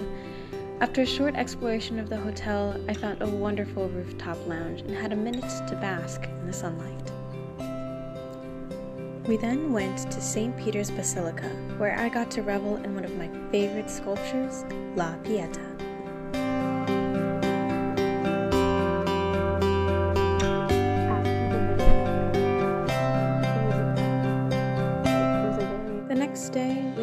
The Vatican Museum. My admiration for the artists who contributed to the art here can never be said enough. I'm glad I was able to be in the presence of the creation of Adam and the School of Athens. That night, we went to our first concert. And I'm not gonna lie, I cried when I heard the orchestra play. It has been a dream of mine to listen to an orchestra dressed up in fancy clothes at a fancy venue. This was when I realized that, wow, I'm actually in Italy. The next day, we went to the Roman Forum and the Pantheon. And let me just say, it felt like I was thrown back in time. I could see the Romans walking around, blissfully unaware that they were making history.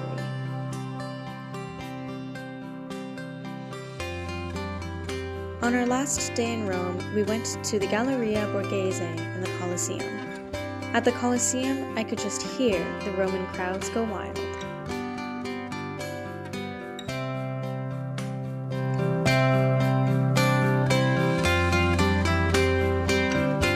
Our next stop was Florence. We took the train and got to see the countryside of Italy. When we arrived at our hotel, all of us were in awe at how beautiful it was.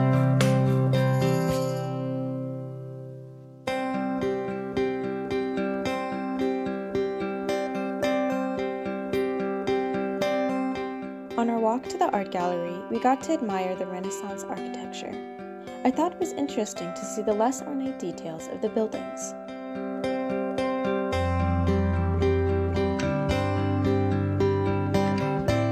The art gallery we went to in Florence is called the Uffizi.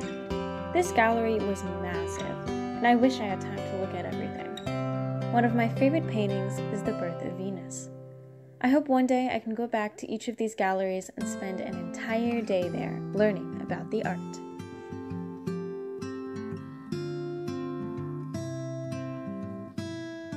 After the Uffizi, we had some time to sightsee on our own.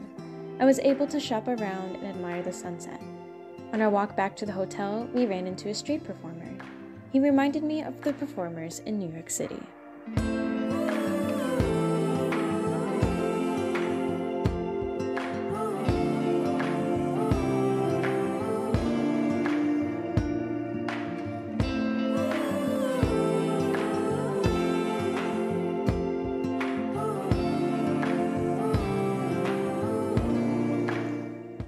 Ended our night with a concert showcasing Beethoven, Mendelssohn, and Brahms.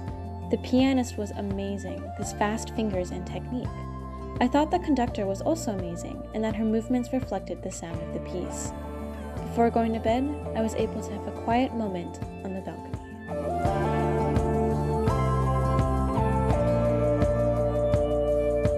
Our last stop on our trip was the State Water, Venice a beautiful city with many bridges and no ramps. You see this video? In this video, you see excitement and wonder, hope. This next one right here, you don't see anyone in it. That's because by the time we arrived at the hotel, we were exhausted from walking around Venice with our luggage. Because the Vaporetto were so packed, we couldn't fit. So we walked and crossed 11 staircase bridges with our luggage. It was a pretty walk, though. That night, we had our last concert. It was my favorite out of the three. They were playing Mozart, and I was captivated the whole time. I found it interesting that there were natural trumpets and valveless horns. I also found it thoroughly impressive that they went through an entire concert without a conductor. Instead, they followed the concertmaster. The next day, we visited our last gallery. Gallery della. I thought that the paintings were so lifelike I could jump into the canvas. This painting here tells an entire story from one end to the other, titled Scourge of the Serpents.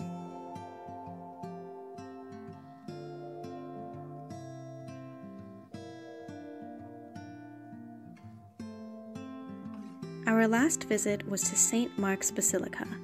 Everything shone gold, and I had the honor of watching the 24 hour clock strike noon.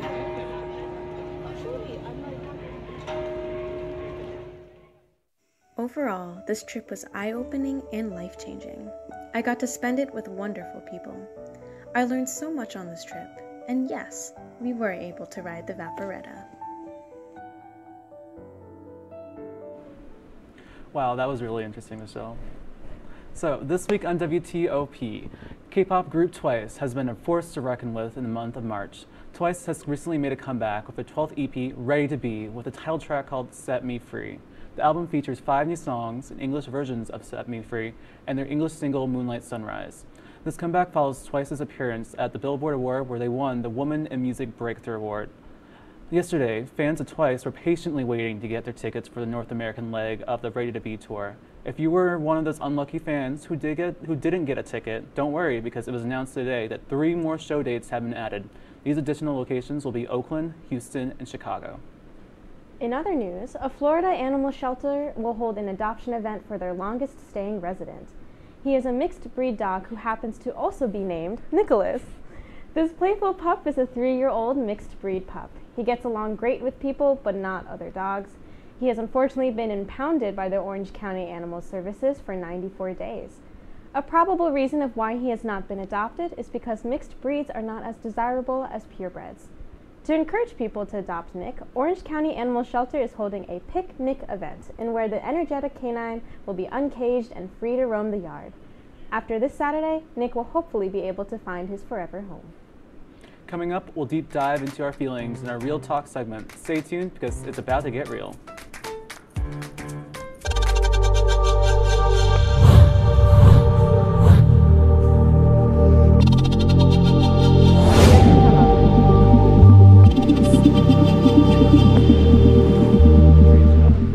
Awesome.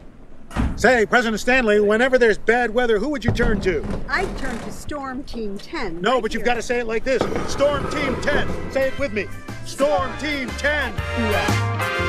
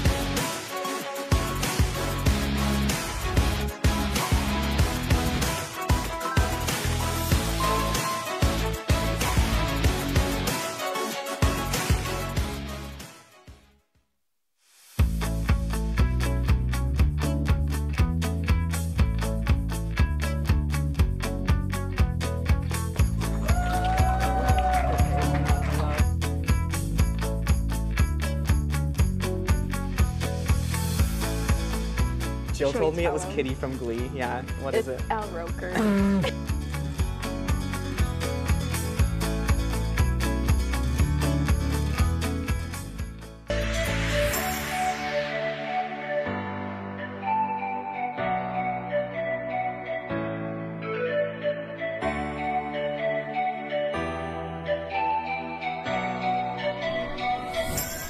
Today, we are joined today by Molly DeMarco and Megan Donnelly. Why don't you guys tell us a little bit about yourself, such as your majors and interests? Okay. Um, hi, my name is Molly DeMarco. I am a music major and a history minor. I am president of Vocal Effect. It's a student-run show choir on campus. Yeah. Hi, I'm Megan Donnelly. I'm a psychology and music double major with a minor in expressive arts therapy.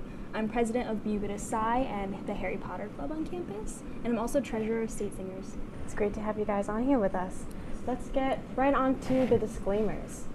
Heavy topics such as trauma and deep emotions will be discussed in this segment of the show.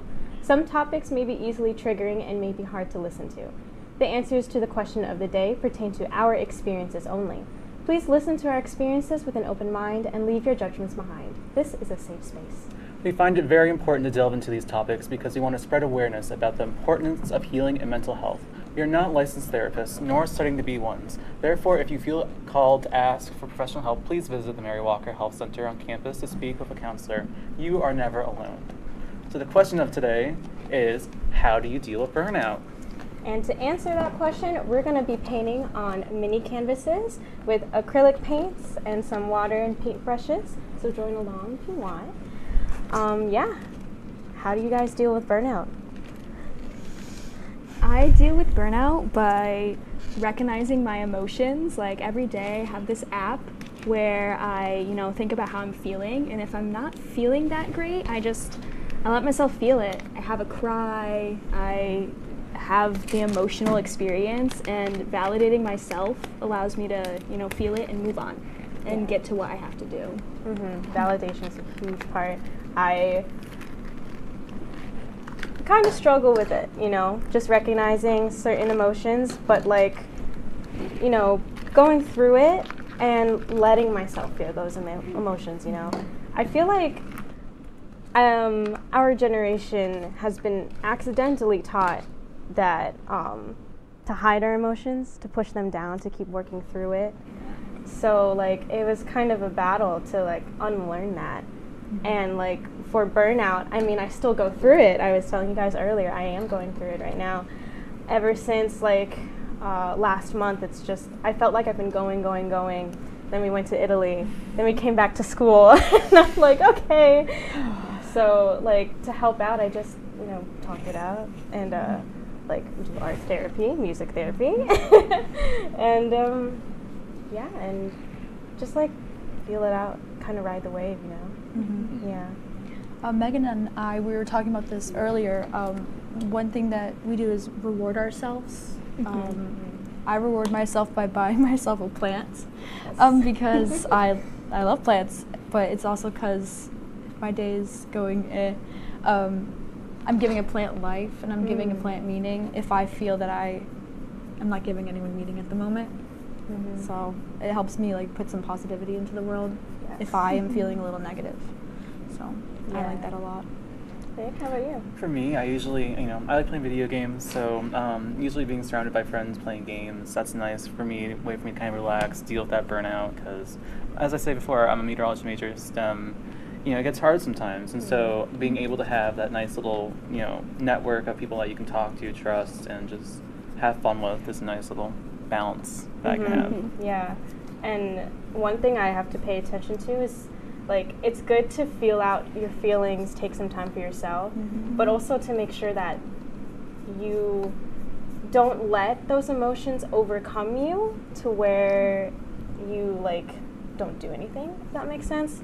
Um, like you could slip into a depression or and like just not want to leave your room for how many days. It's just it's sometimes it's so easy to succumb to that. No, I totally agree. Like for me, it's you know, sometimes you know, especially since we're in dorms, you know, that bed's right next to you, so it's, it's tempting. But you know, just ride that wave. You know. Yeah. A lot of that has to do with learning how to say no to things, Mm. learning what things, learning what things have to take up your time, and learning when you need to take a step back and be like, genuinely, I can't do this, and I need help from somebody else to be able to do it. Yeah. Especially student orgs, classes. Yeah. It's a lot of responsibility on top of just like social situations and family. Like you have a lot of priorities and Yeah. you're not replaceable in your family, but you're replaceable in certain orgs, you know? Oh, that was a great way of putting it. Yeah. Yeah, and like you as a person, not replaceable in any means, Oh, but in terms of like position, that's I always think to myself like if I can't do it right now, that's okay because someone will be able to help me out. You know, asking for help, which is sometimes I don't want to do, and like I, it's also another thing I'm working on. but like in terms of um, what you were saying on adding too much on our plate. Mhm. I feel like a lot of us also do that. I mean, we're all in music groups, so we Yeah. definitely we have other stuff outside. We all take voice lessons or piano lessons, and So much you know we got to balance out all these different things. And Yeah.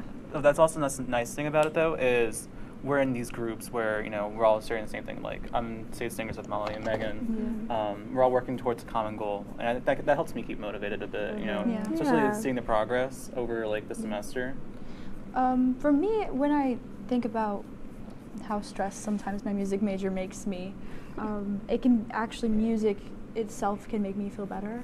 So when we do sing in vocal effect, and it's a it's a it's a good time for those a few hours of Yeah. rehearsals. I forget about all the work I have to do and all the because sometimes I don't want to be tested on music. I know. And for vocal effect, it's not we're not testing. And it, it feels rewarding in a sense because you know we're we're the ones that me and Molly we're both um, DCs. We teach the music, and you know it feels rewarding to kind of go in there and like see that our efforts are being recognized and that everyone's having fun. Uh, yeah, especially um, last last year. I always talk about it. Uh, we did "You Will Be Found" from Mhm. Dear Evan Hansen, and everyone, even if they didn't love the song, everyone, it was so powerful. I, ugh. I remember that was my first semester and in the Mhm. group. That was that's definitely one of my favorite songs we've ever done. yeah. Yeah, music definitely helps, like give you an outlet, you know. Mhm. And I, I don't usually like sing, sing, but I'll listen to like sad music if I need to. It's like it's so um, cathartic. I think that's the word. Mm-hmm. And like it helps you feel seen in your emotions. Like Yeah. someone else has experienced this as well, and like and you're not alone. And like it, it sometimes like the world is so big, you feel so alone. If that makes sense. Yeah. And like I forget who mentioned it. Um, in the in our Italy class, someone oh um, yeah I remember someone said that it made her feel really small, right? All the places we went to. Oh, they were huge though. Yeah, yeah, the Ginormous stores. oh yeah, big doors. And even though like the the places in Italy were very narrow, it was um the Pantheon was huge, and it just reminded me how small we can be, and how insignificant our actions can be, and like that could be twisted into a negative way, but in a positive way. It just shows like you know that a bit embarrassing moment that you keep thinking about two weeks ago doesn't matter. Yeah, doesn't matter. That's a very good strategy for moving on from mistakes. Like the mistakes you make, they make you a better person. Mhm. You don't have to dwell on them. hmm I remember on the plane on the way there, and I get like this every time I go on planes, and I just think, wow, the world is so huge, and I think of it as if I make a difference, even in uh, SUNY Oswego, you know, like that we're part of like the whole world. I, I, I just feel so helpful, and I really appreciate what I can what I can bring, what I can put out to the universe. Yeah, you can be significant to someone. Yeah, and I'm like, oh my gosh, it's the world. and I'm great. in it. oh, that was great. So, we're out of time for real talk, unfortunately. So, let's go on to our song of the week. So first off, my song of the week. Um, it's by NMIXX. It's called "Love Me Like This." It's the song that just came out. I love it so much. The album itself is so good. Yeah. My song of the week is called. It's sorry, I forgot to write in the script. My song of the week is like a movie by Labyrinth. Molly? Uh, my song of the week is called "Building a Ladder" by uh, Hiatus Kaiyote. I'm gonna hope that I said that right. I'm working on it right now. So. And my song of the week is uh, The Tango of Roxanne from the Moulin Rouge movie, specifically the Ewan McGregor version. Nice. All right. So coming up, we're gonna guess that song.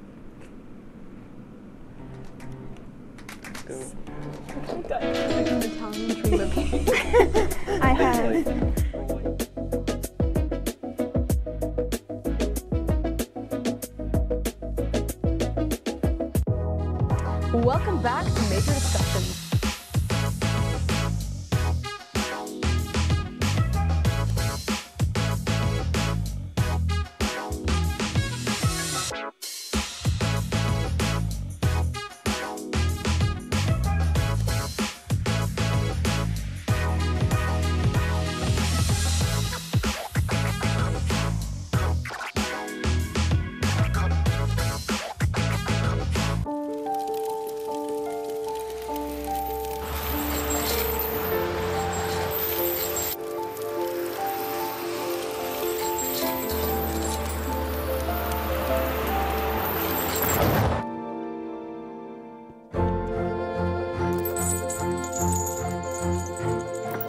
Know dragging chains can spark a wildfire? Only you can prevent wildfires. When I was in foster care, I never knew when I would have to move. So I always had my suitcase ready to go.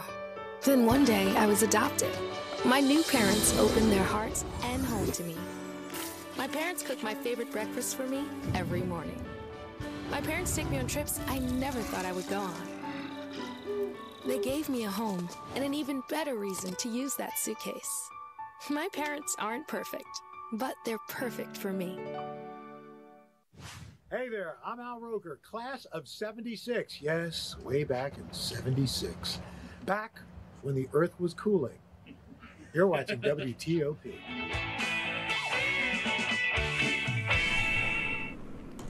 Welcome back to the Mick and Nick Show. After those hard topics, let's wind down with some fun games. Today we are playing Guess That Song. Yes. Michelle, how do we play this game? So to play this game, Um, it will be me and Molly versus you and Megan. We will take turns showing the other team a song lyric we picked out, and you guys will just have to guess a song. The theme is Disney songs. And um, we will do five rounds of this, or whenever we would have to end. Um, and the winner gets bragging rights. So, yeah. Serious. well, I will start off with mine first. So, for me, the lyrics are When the wind's from the east and the sun's from the west and the sand in the glass is right, come on down, stop on by. Oh, wait, I know this one. That's um. Oh wow. Is it? Oh goodness. It's not from Belle, is it? No, it's not. Or This I mean, for sad. you. I'll give you. Come on and stop on by. Stop on by. Stop on by where? to the Disney movie. It's a Disney movie. uh, I'll give you guys five more seconds. Can we get a hint? Yeah. You want the movie name? Sure. Aladdin. Oh, that makes sense. Um, Arabian Nights. Yes. Yeah. I don't. I don't know Aladdin. I'm sorry. All right. What's the next next song? Alrighty. Let's get down Um, to Mulan. business. Sorry. Let's get down to business. To defeat the Huns, did they send me daughters when I asked for sons? I'm so sorry. I No, jumped you're the fine. gun What- there. what's the song? It's um. Uh, I'll make a man out I'll of make you. a man out We of did you. that back in I high started off easy, so you're That good. was You too did easy. Can't give him the win. Okay, so next one is. It will pop up. There it is. Again, you're gone, off on a different path than mine. I'm left behind, wondering if I should follow you, had to go, and of course it's always fine. I probably could catch up with you tomorrow. Now I know you're marching north because I am lost in the woods. Yep. That was Oh, so bad. it's Sorry. from Into the oh, Wind. Fro- Frozen 2. Oh, Frozen 2. Yes. Wow. Yeah. I'm so bad with these. Nice. What was the song song name? Um, it's in the woods. Oh, Lost in Yes. the Woods. Gotcha. Sorry. Next one. Next song, we have. And at last I see the light, and it's like the fog has lifted, and at last I see the light, and it's like the sky is new. Tangled. Mhm. At last I see the light. yes, yes. Next the up, we from have. Where does it say you gotta live and die here? Where does it say a guy can't catch a break? Why should you only take what you've been given? Why should you spend your whole life living trapped where there ain't no future? That's not. Is that It's from a musical. a musical? A musical, Disney musical. It's not High School Musical. No. Oh. It's uh, like an actual musical, like Yes. a Broadway Oh. musical. It has um. Jeremy. Jordan. Yes, Jeremy Jordan. Lead. Oh, wait. and um, It's wait, Jeremy Jordan. Jeremy Jordan. He wasn't in, he wasn't something, the woods. something. He was in Newsies. You have Newsies. That is So- from Newsies. Yeah. What song from Newsies? Oh, is it like now's the time to seize it? No. No. I'm so sorry to every oh. musical person out there ever. I It promise. is. I did the musical. I did not. or like I watched it at least. It's um. it's a place. Yeah. Oh, Oh, um, um, duh, no. I guess not the Santa really Fe. nice high. Yeah, Yeah, that nice high note. Santa Fe. Okay, okay. I'm losing my voice. So Yes. that's you did well. Okay, what's uh, what's the next song? Okay, yeah. Is there? Yep. Well, it goes to St. Louis, down to Missouri. Oklahoma City looks oh so pretty. Is this Princess and the Frog? Is it? from? No. I don't think so. Wait. Wait. Wait. What, what what movie is it from? You were right on the movie. I was Oh, it is right. It's from Princess Princess. Frog. Is that the opening? Oh, is it almost there? Yes. Oh, it is. Yes. They're winning. yeah, I did it It's too okay. easy. It's okay. What's the next one? Okay, I gotta say what's on my mind. Something about us doesn't seem right these days. Life keeps getting in the way. Whenever we try, somehow the plan is always rearranged. I got to move on and be who I am. Why do you have to go? uh, I gotta go my own way. Yeah, Uh, High School what's that Musical. from? What's the name of it? Gotta go my own Yeah. way. Yeah, yeah, you literally said Vanessa name. Hudgens. High School Musical 2. Nice. Ugh, But what about us? yeah. what about what about trust? And I think we have one more, right? No, you have one more Yeah, I have one more. For even if I'm far away, I hold you in my Oh. heart. I sing a secret song to you. Each night we are apart. Remember Me Oh, from so Coco. good. Yes. Mm-hmm, Made me sob. Oh, Absolutely I love that movie. So- Watched it like three times. Yeah. Yeah. We have one more, right? I think we have two more I actually. think I, yeah, I one, have one one each. more. Yeah. we do. So mine is I believe we all have a soulmate. Soulmate, the chance for a perfect duet. I believe in hopeless devotion. I just haven't found it yet. But in my mind, I see the chick who is meant for me. She'll be someone who is lovely, someone wonderful and true. Molly's ready. The kind of boy that makes you smile even when you're feeling blue. Meant to be from Teen Beach Movie. I Nice. the movie. Love the oh, I know, I know she's out there. Didn't they make a? did they make a second one? Yeah, they Or- did. Okay. It's not good. It's not good. Oh, No. oh, sorry. You know, Yeah, um, kind of like Bruno, you know. What's love? Some Alrighty. Next song. This old town can slow you down, people taking the easy way, but I know exactly where I'm going. I'm getting closer and closer every day. Cause I'm almost there.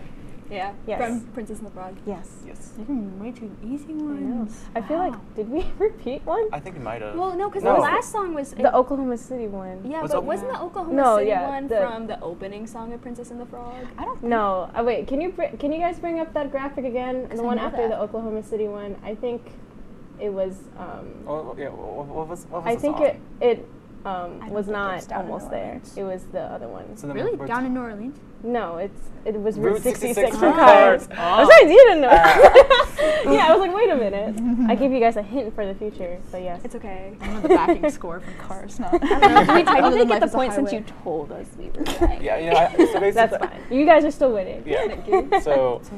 I guess that's all for That- the we're the winners. Bragging Megan? rights. Bragging rights. Let's bragging go. rights. It's fine. It's fine. It's okay. Yeah. We went to Italy. Yeah, we did. What'd you guys do over spring break? I went to um, NESC, but that was a fun it. time. I stayed here in Oswego, I did homework, and I slept, and I ate a quesadilla. Love it. Yes. Well, that's all we have for today, folks. If you need help, any help, feel free to call the number for um, counseling services at Mary Walker. And tune in next time to the Mick and Nick Show. Welcome to season six, episode six of Stick to Sports. I'm Brian Burrows. And I'm Ben Diamond. Today we take a look at some sur- surprising MLB starts and the NBA playoffs. Roll it.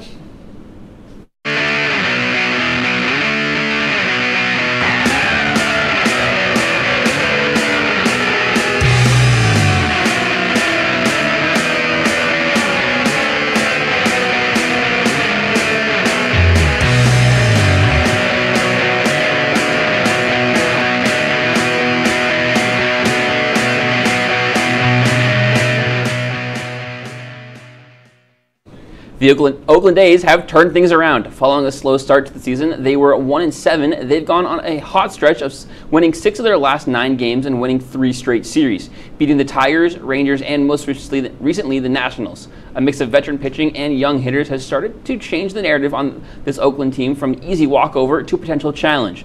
They're coming up on a stretch of harder opponents, though, with the Guardians, Yankees, and Orioles all to play before the end of the month.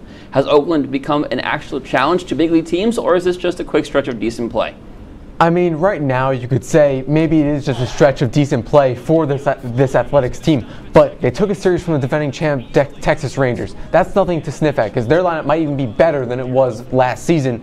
But also, their young players right now having a lot more experience in MLB. They're coming to their second or third seasons, giving them a little more seasoning, and you know maybe that they become more comfortable. But there's still a lot of dysfunction in the organization as a whole. So if they're able to block out that noise, maybe they can become more of a formidable foe to you know some the, to the rest of the MLB than they have been in the last few years. But we'll have to wait and see if this stretch can continue. Yeah, I think this is very much just like a quick stretch. I mean, the Rangers thing is no small feat, but the Nationals are easy. The Tigers aren't the best team out there. This next stretch of games is really going to be the, the litmus test for them. Um, it's nice to see though that they aren't just a, tr- a glorified AAA team right now, even though they'll be playing in a AAA park in a couple of seasons or next season. But the nice, I think, you mentioned that the young hitters, Shea Langeliers coming into his own, has been really nice to see the, the big piece of that Sean Murphy trade a couple of years back, and Mason Miller has looked absolutely gross. He throws consistently over 100. He was hitting like 104 the other night, which has been really cool to see. So they have some young players that are still going to be fun to watch, give people a reason to watch this Oakland team, even though no one's going to be in the stadium for them. The Kansas City Royals have gotten off to a hot start at 11 and 6 after finishing last season with an abysmal 56 and 106 record. With shortstop Bobby Witt Jr. taking another step forward to start the 2024 season and great results from Cole Ragans and the rest of the starting rotation, the Royals look to be in a better spot than they were last year. Do you think the Royals can keep up this play consist- consistently throughout the season, Brian? I think this is very much sustainable for this Royal squad. The front office did an excellent job this offseason going out and getting um, veterans to surround their young core. They brought in Michael Wacha, Hunter Renfroe, and um, Seth Lugo, among other veterans, to just kind of solidify your team. That's what you want to do when you have a young core, and none of them are on massive contracts, so it's not going to eat up the, any of the money for a long term. But it's a great way to uh, just like build around your team and give your young players some support. Bobby Witt has been a monster. You mentioned him. He's got a, over a thousand OPS. Salvador Perez is still playing at a good rate for now, Is more pretty much a DH. And Brady Singer and Cole Ragans have looked very good at the top of the rotation. I'm very excited to see what Cole Ragans can be for this Royals team in a year or two.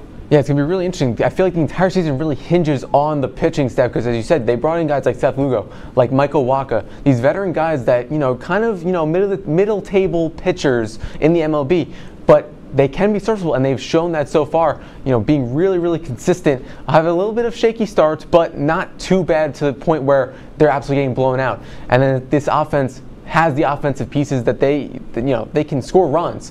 They just need to consistently. Bobby Witt Jr. is going to be at the center of that, and I know if he's on, this lineup will be firing all cylinders.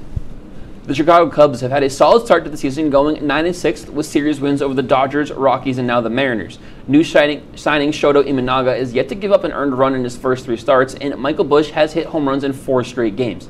Seiya Suzuki, who was hitting over 300 in the first 15 games, just got put on the 15-day IL though with an oblique strain. Will losing Suzuki cause the Cubs to cool off, or will they be fine for the time being?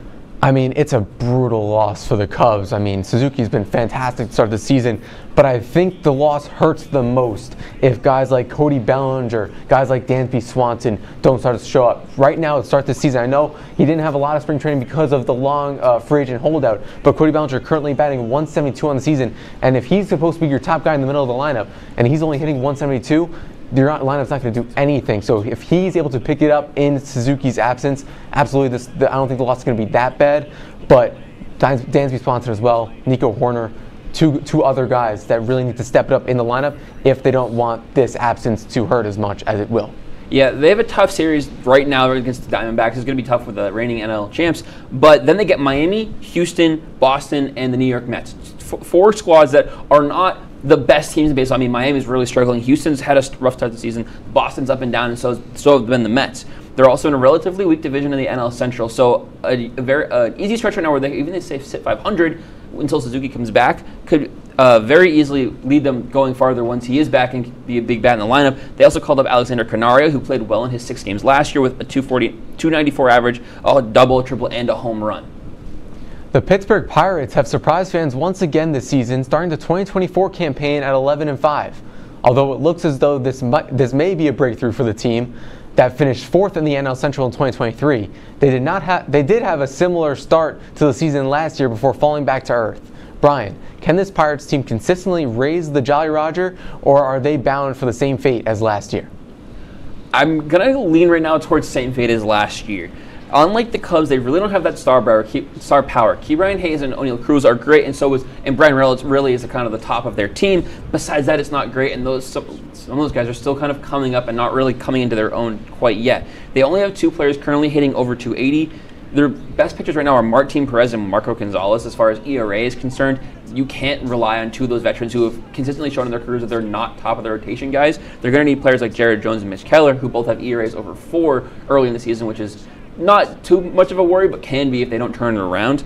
And then it's been what the most concerning thing I think for them has been David Bednar. Really good closer, but has been shaky. His three blown saves in his first five attempts. If they're going to try and win games and close it out in a competitive NL Central, they're going to need him to be able to lock down. Absolutely. And I mean, you mentioned that core Ke'Bryan Hayes, Oneil Cruz, Bryan Reynolds they have depth pieces right now that are picking up the slack. Connor Joe has had a fantastic April and March.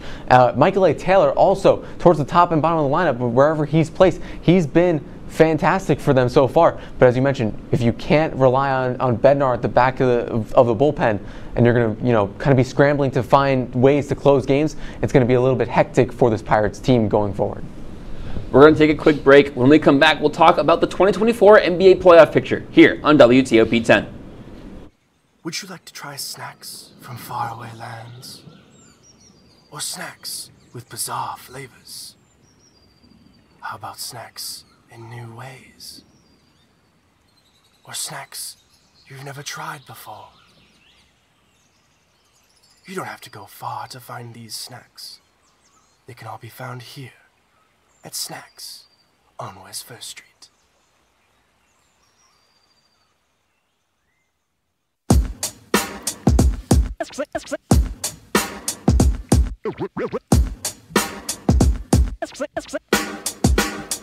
Yeah, we're walking around campus, and what do we see? All these clubs are looking. They looking for me. There's hockey, There's improv, so much to see. So let's go try them out and see how they be. Come on and please watch. Our embarrassments free. Tune in to Amateurs on WTOP. Happy Friday, Lakers, and another beautiful day here in Oswego, New York. I'm DJ Don Perone, and I'm happy that you're starting your weekend off right listening to WNYO 88.9 FM, the Laker Radio Network. I said, darling, can you see? There's no room for us. There's no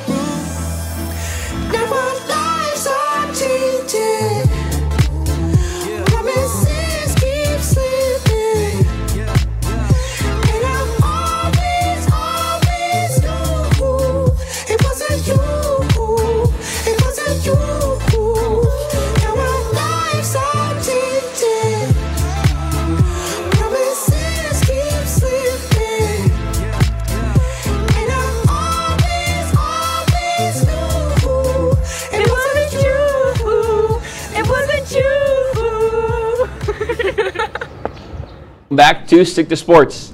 In the Eastern Conference play-in, the eight-seeded Heat will head to Philly for the chance to play the Knicks. Winner of the Bulls and Hawks will take on the loser of the 7-8 game, and the winner of that heads to Boston. Ben, who's making it through to the play-in and through into the full playoffs.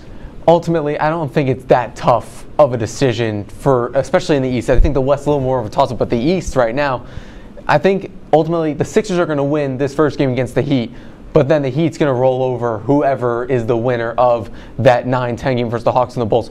Neither of those teams in the 9 and 10 are particularly eye-popping when it comes to you know pl- the rest of the playoff teams. I think when you get into the into the West, uh, the the playing teams are a little bit more polished than the ones in the East. But ultimately, I think coming away with this, I mean, 76ers game back Embiid.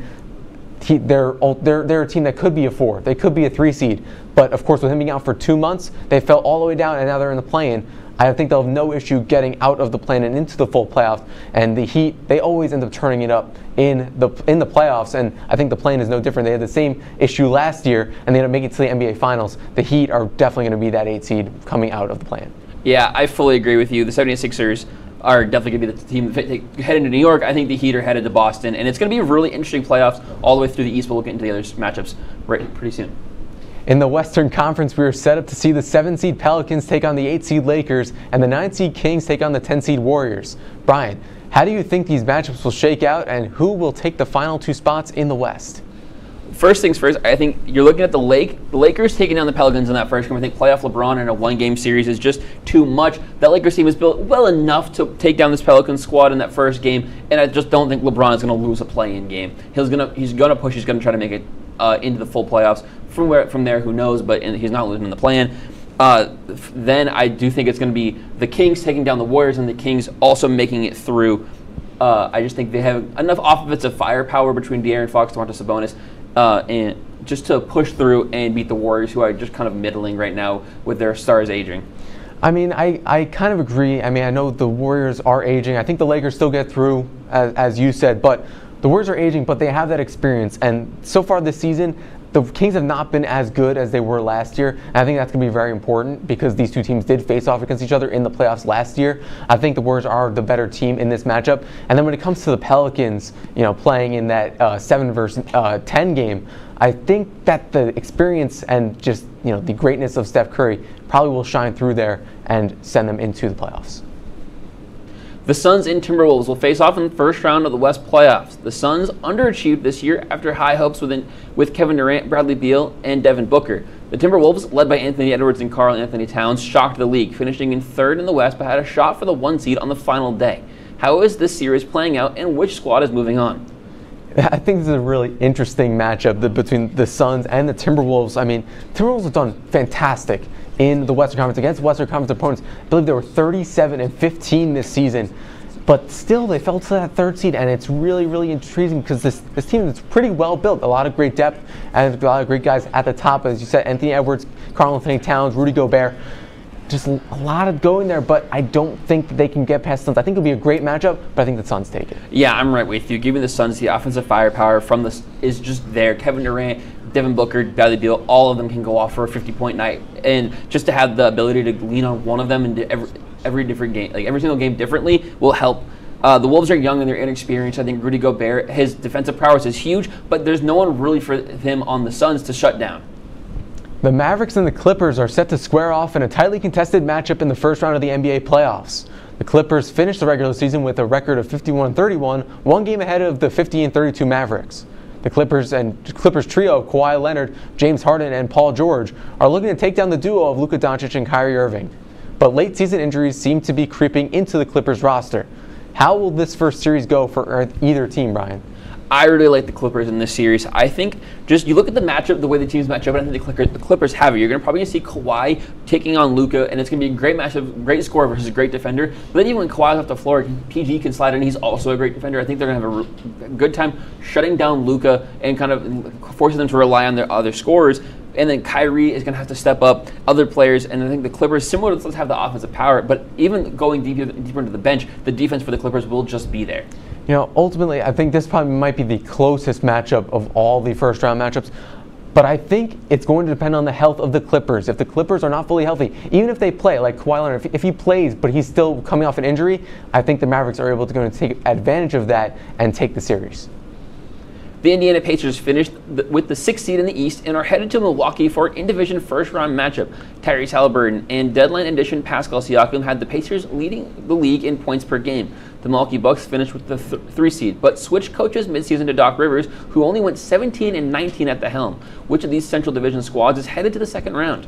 I mean, the Bucks are clearly the more experienced team when it comes to the playoffs, but they have not played the way that you'd expect them to under Doc Rivers, and I think that's going to play a huge factor in this game.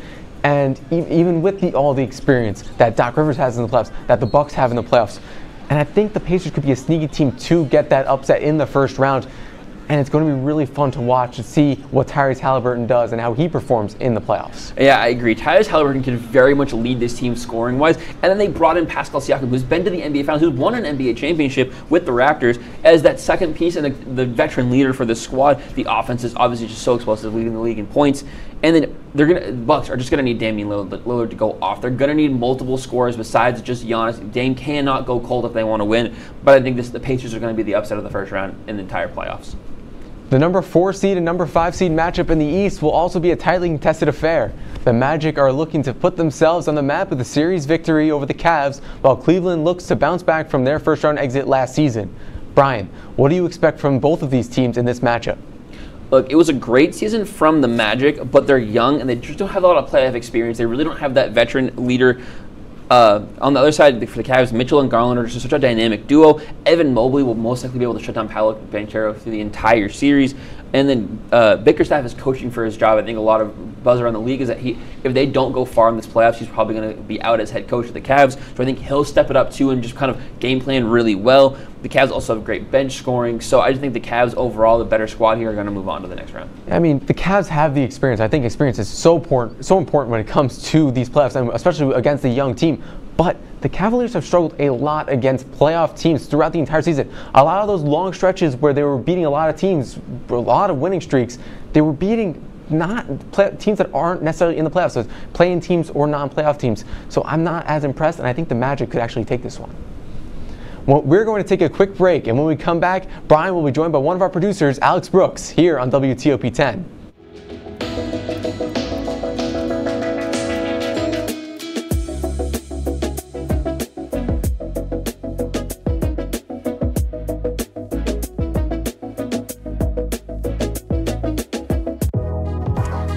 Back to Major Discussions.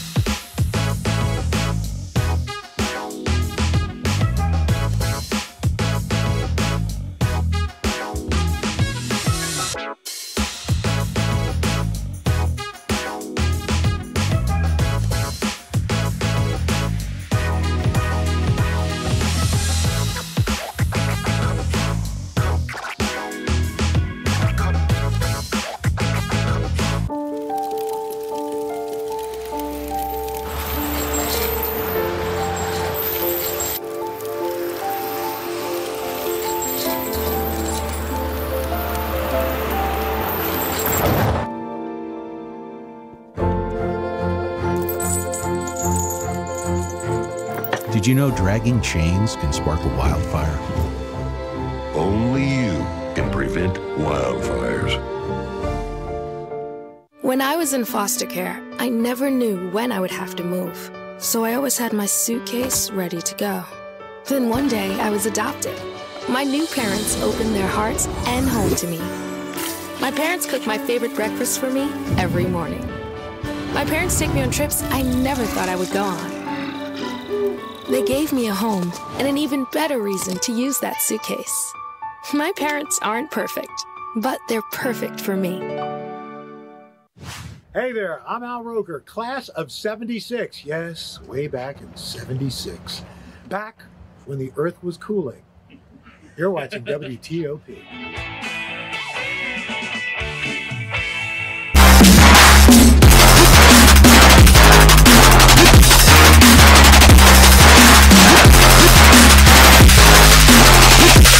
Welcome back to Stick to Sports. Joining me now is Alex Brooks, one of our producers. Alex, what do you have for us tonight? Thank you, Brian. Let's continue our conversation with the NBA playoffs as the play-in games start tomorrow night. We know teams like the Suns, Knicks, and Celtics are heavily favored for a deep run. But Brian, I ask you this.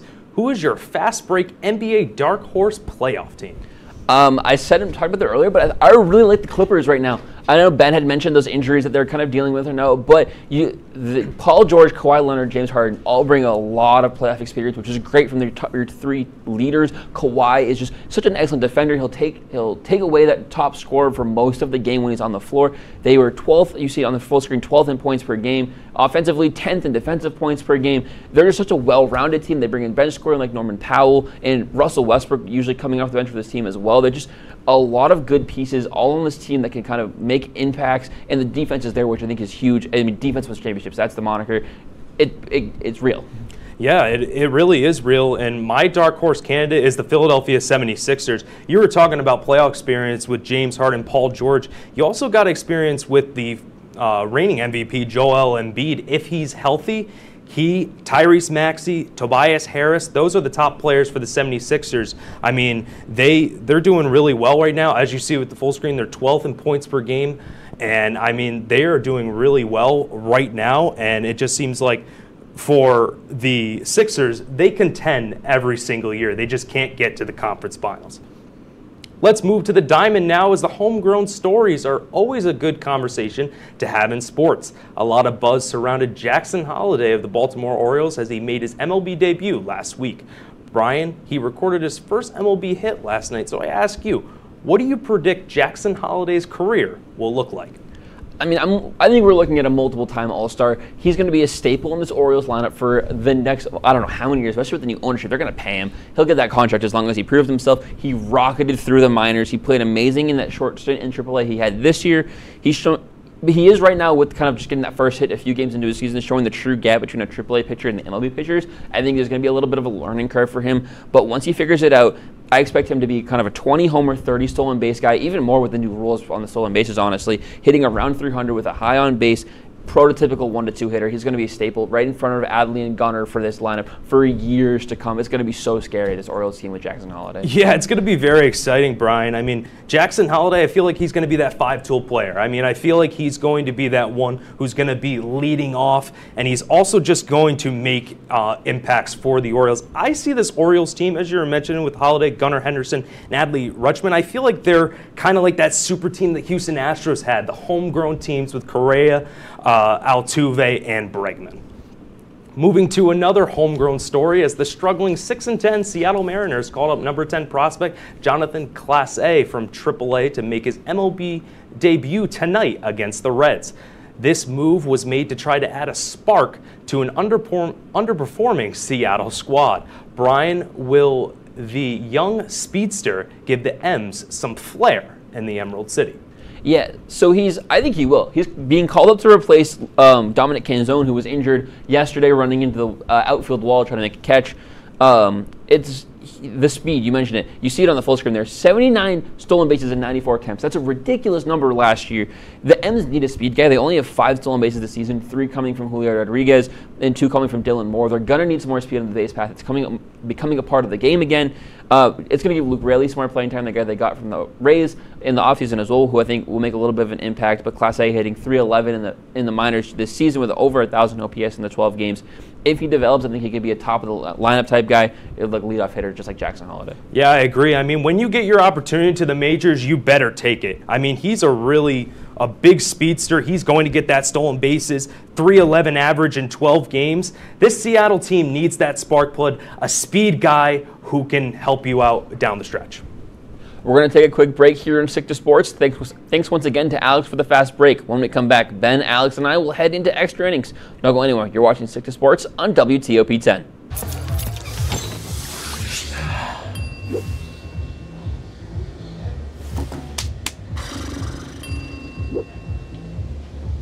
If you need to do something to feel okay to drive, you're not okay to drive. Don't drive buzzed.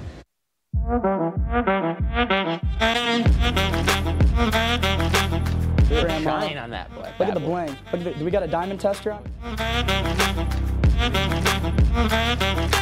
Yeah, that's getting bad. Yep.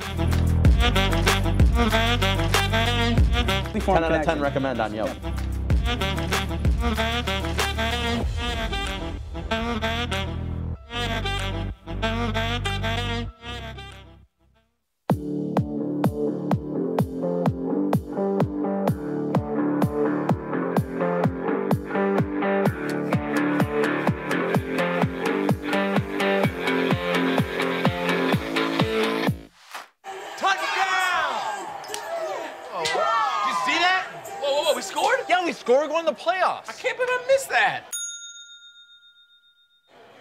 I'm buzzed, I spend too much time on my phone. What? I should take your phone away. No, no, no. I- I'll call for a ride. Wait, why does my face look like that? I'm, I'm playing with these new face filters. Okay, you know what? Yep, that's mine. But I need that back. No. Kevin!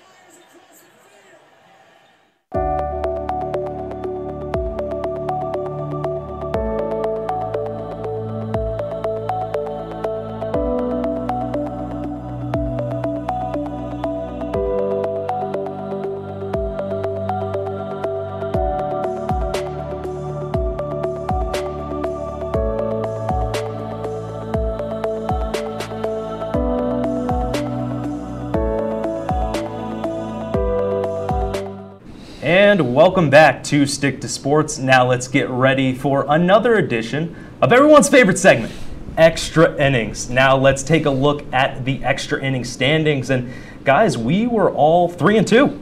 Uh, we, we were all at the same thing. We didn't pick Great the job, same guys. games. I found out earlier when I was talking to Brian, but I mean, we're three and two. I mean, it's getting a little close. I mean, I'm a little back there, but Ben, you're 17 and 8. Good Wow, job I'm right impressed with myself. I, I did really bad last semester, so I'm, I'm impressed. There you go. There you go. There we go. Well, we'll start this extra inning segment with some basketball. And as Kanye said, I guess that's a feeling only me and LeBron know as LeBron James and the Lakers head to New Orleans, thanks, Mike, to play the Pelicans. Brian, who's headed to the playoffs? Uh, I like I said earlier, I like the, the Lakers in this one. I think they're LeBron on a one in a one game playoff is going to just lead that team. He's going to take it over. Maybe even a triple double night for him. I absolutely agree, Brian. I mean, I, would, I think we both agreed earlier that the Lakers were going to take this one. I think they're simply the better team than the Pelicans. They just played yesterday. I think that they can do it again um, on Wednesday. Yeah, I agree with you both. I'm going to take the Lakers. You were mentioning earlier, Brian, that the Lakers, LeBron's not going to lose this play-in tournament. So let's move over to our next matchup the number 10 Golden State Warriors versus the number 9 Kings. Ben, who we got in this one? Yeah, another game that we were just talking about before. I'm going to take the Warriors in this one. I just think that that experience that the Warriors have in the playoffs, I also think that they're just a little bit better than the Kings. Doesn't mean the Kings aren't a good team, but I just don't think they have enough gas to make it through the play-in tournament. Uh, I personally like the Kings in this one. I think offensive star power, offensive firepower that they have with De'Aaron Fox is going to be huge, and Draymond Green's going to pull some shenanigans and get us kicked out of the game. Yeah, maybe so, but I'm going to go with the experience on this one. So I'm going to agree with you, Ben. Uh, number 10 Warriors are going to take this one. We're going to move over to the Miami Heat versus the number 7 76ers, number 8 Heat versus 76ers. Sixers are favored at 4.5. Brian, who we got? Uh, give me the 76ers in this one. Joel Embiid is going to go off. He's uh, coming, he came back from injury. He's looked pretty good. The Sixers are going to lead this team. They were, like you said earlier, they should have been like a four seed in this four seed this year. Absolutely. I mean, if, if, if not for Joel Embiid being out for two months, the 76ers team is one of the best in the Eastern Conference. So I see no reason as to why they can't win this first game in the play tournament. And honestly, if they don't, they're going to win the next one. So they will be in the playoffs no matter what. Yep. Yeah, I'm I'm going to take the 76ers on this one. I talked about it in C block, so I am definitely going to ride high with Philly. So we'll move over to our next matchup, number 10 Atlanta Hawks versus the number 9 Chicago Bulls. Eastern Conference here, Ben, who do we got? Oh, this is this isn't a great matchup. I gotta say. I mean, the the, the Hawks, you know, they they haven't played fantastic this year, but they have that experience. The Bulls uh, also having some experience, but this both these teams have not really lit it up that much this uh, on offense this season. I'm gonna have to take the Bulls. They've just played a little better against playoff teams. Uh, I'm going to go with the Hawks. I'm a Hawks guy. Personally, I'm a Hawks fan. Uh, Trae Young's back. He'll do something in the playoffs. He seems to, seems to pop off in the playoffs, so give me the Hawks and Trae Young. Yeah, I'm going to go with Atlanta. I'm going to go uh, go with the number 10 Hawks on this one. We're going to move over to our final matchup. Some NHL here. The Capitals and Flyers are still fighting for some playoff seeding. So, Brian, take us home with this last one. I'm going to be quick. Alex Ovechkin and the Capitals heading to the playoffs. Give me. I mean, I completely agree. The Flyers have been in a tailspin. I'm taking the Capitals. Yeah, three for three on the Washington Capitals here. Yeah, I mean that was. I mean the Flyers have been in a tailspin. You can't. Yeah, they have. They right now they don't. They don't have a set goaltender. They got Fedotov uh, from Russia, but he hasn't looked fantastic in his first few starts. So I don't really have much trust in him against the Capitals. No, yeah, Capitals, definitely Ovechkin. But that's all the time we have on this episode of Stick to Sports. Be sure to tune in next week right here on WTOP 10.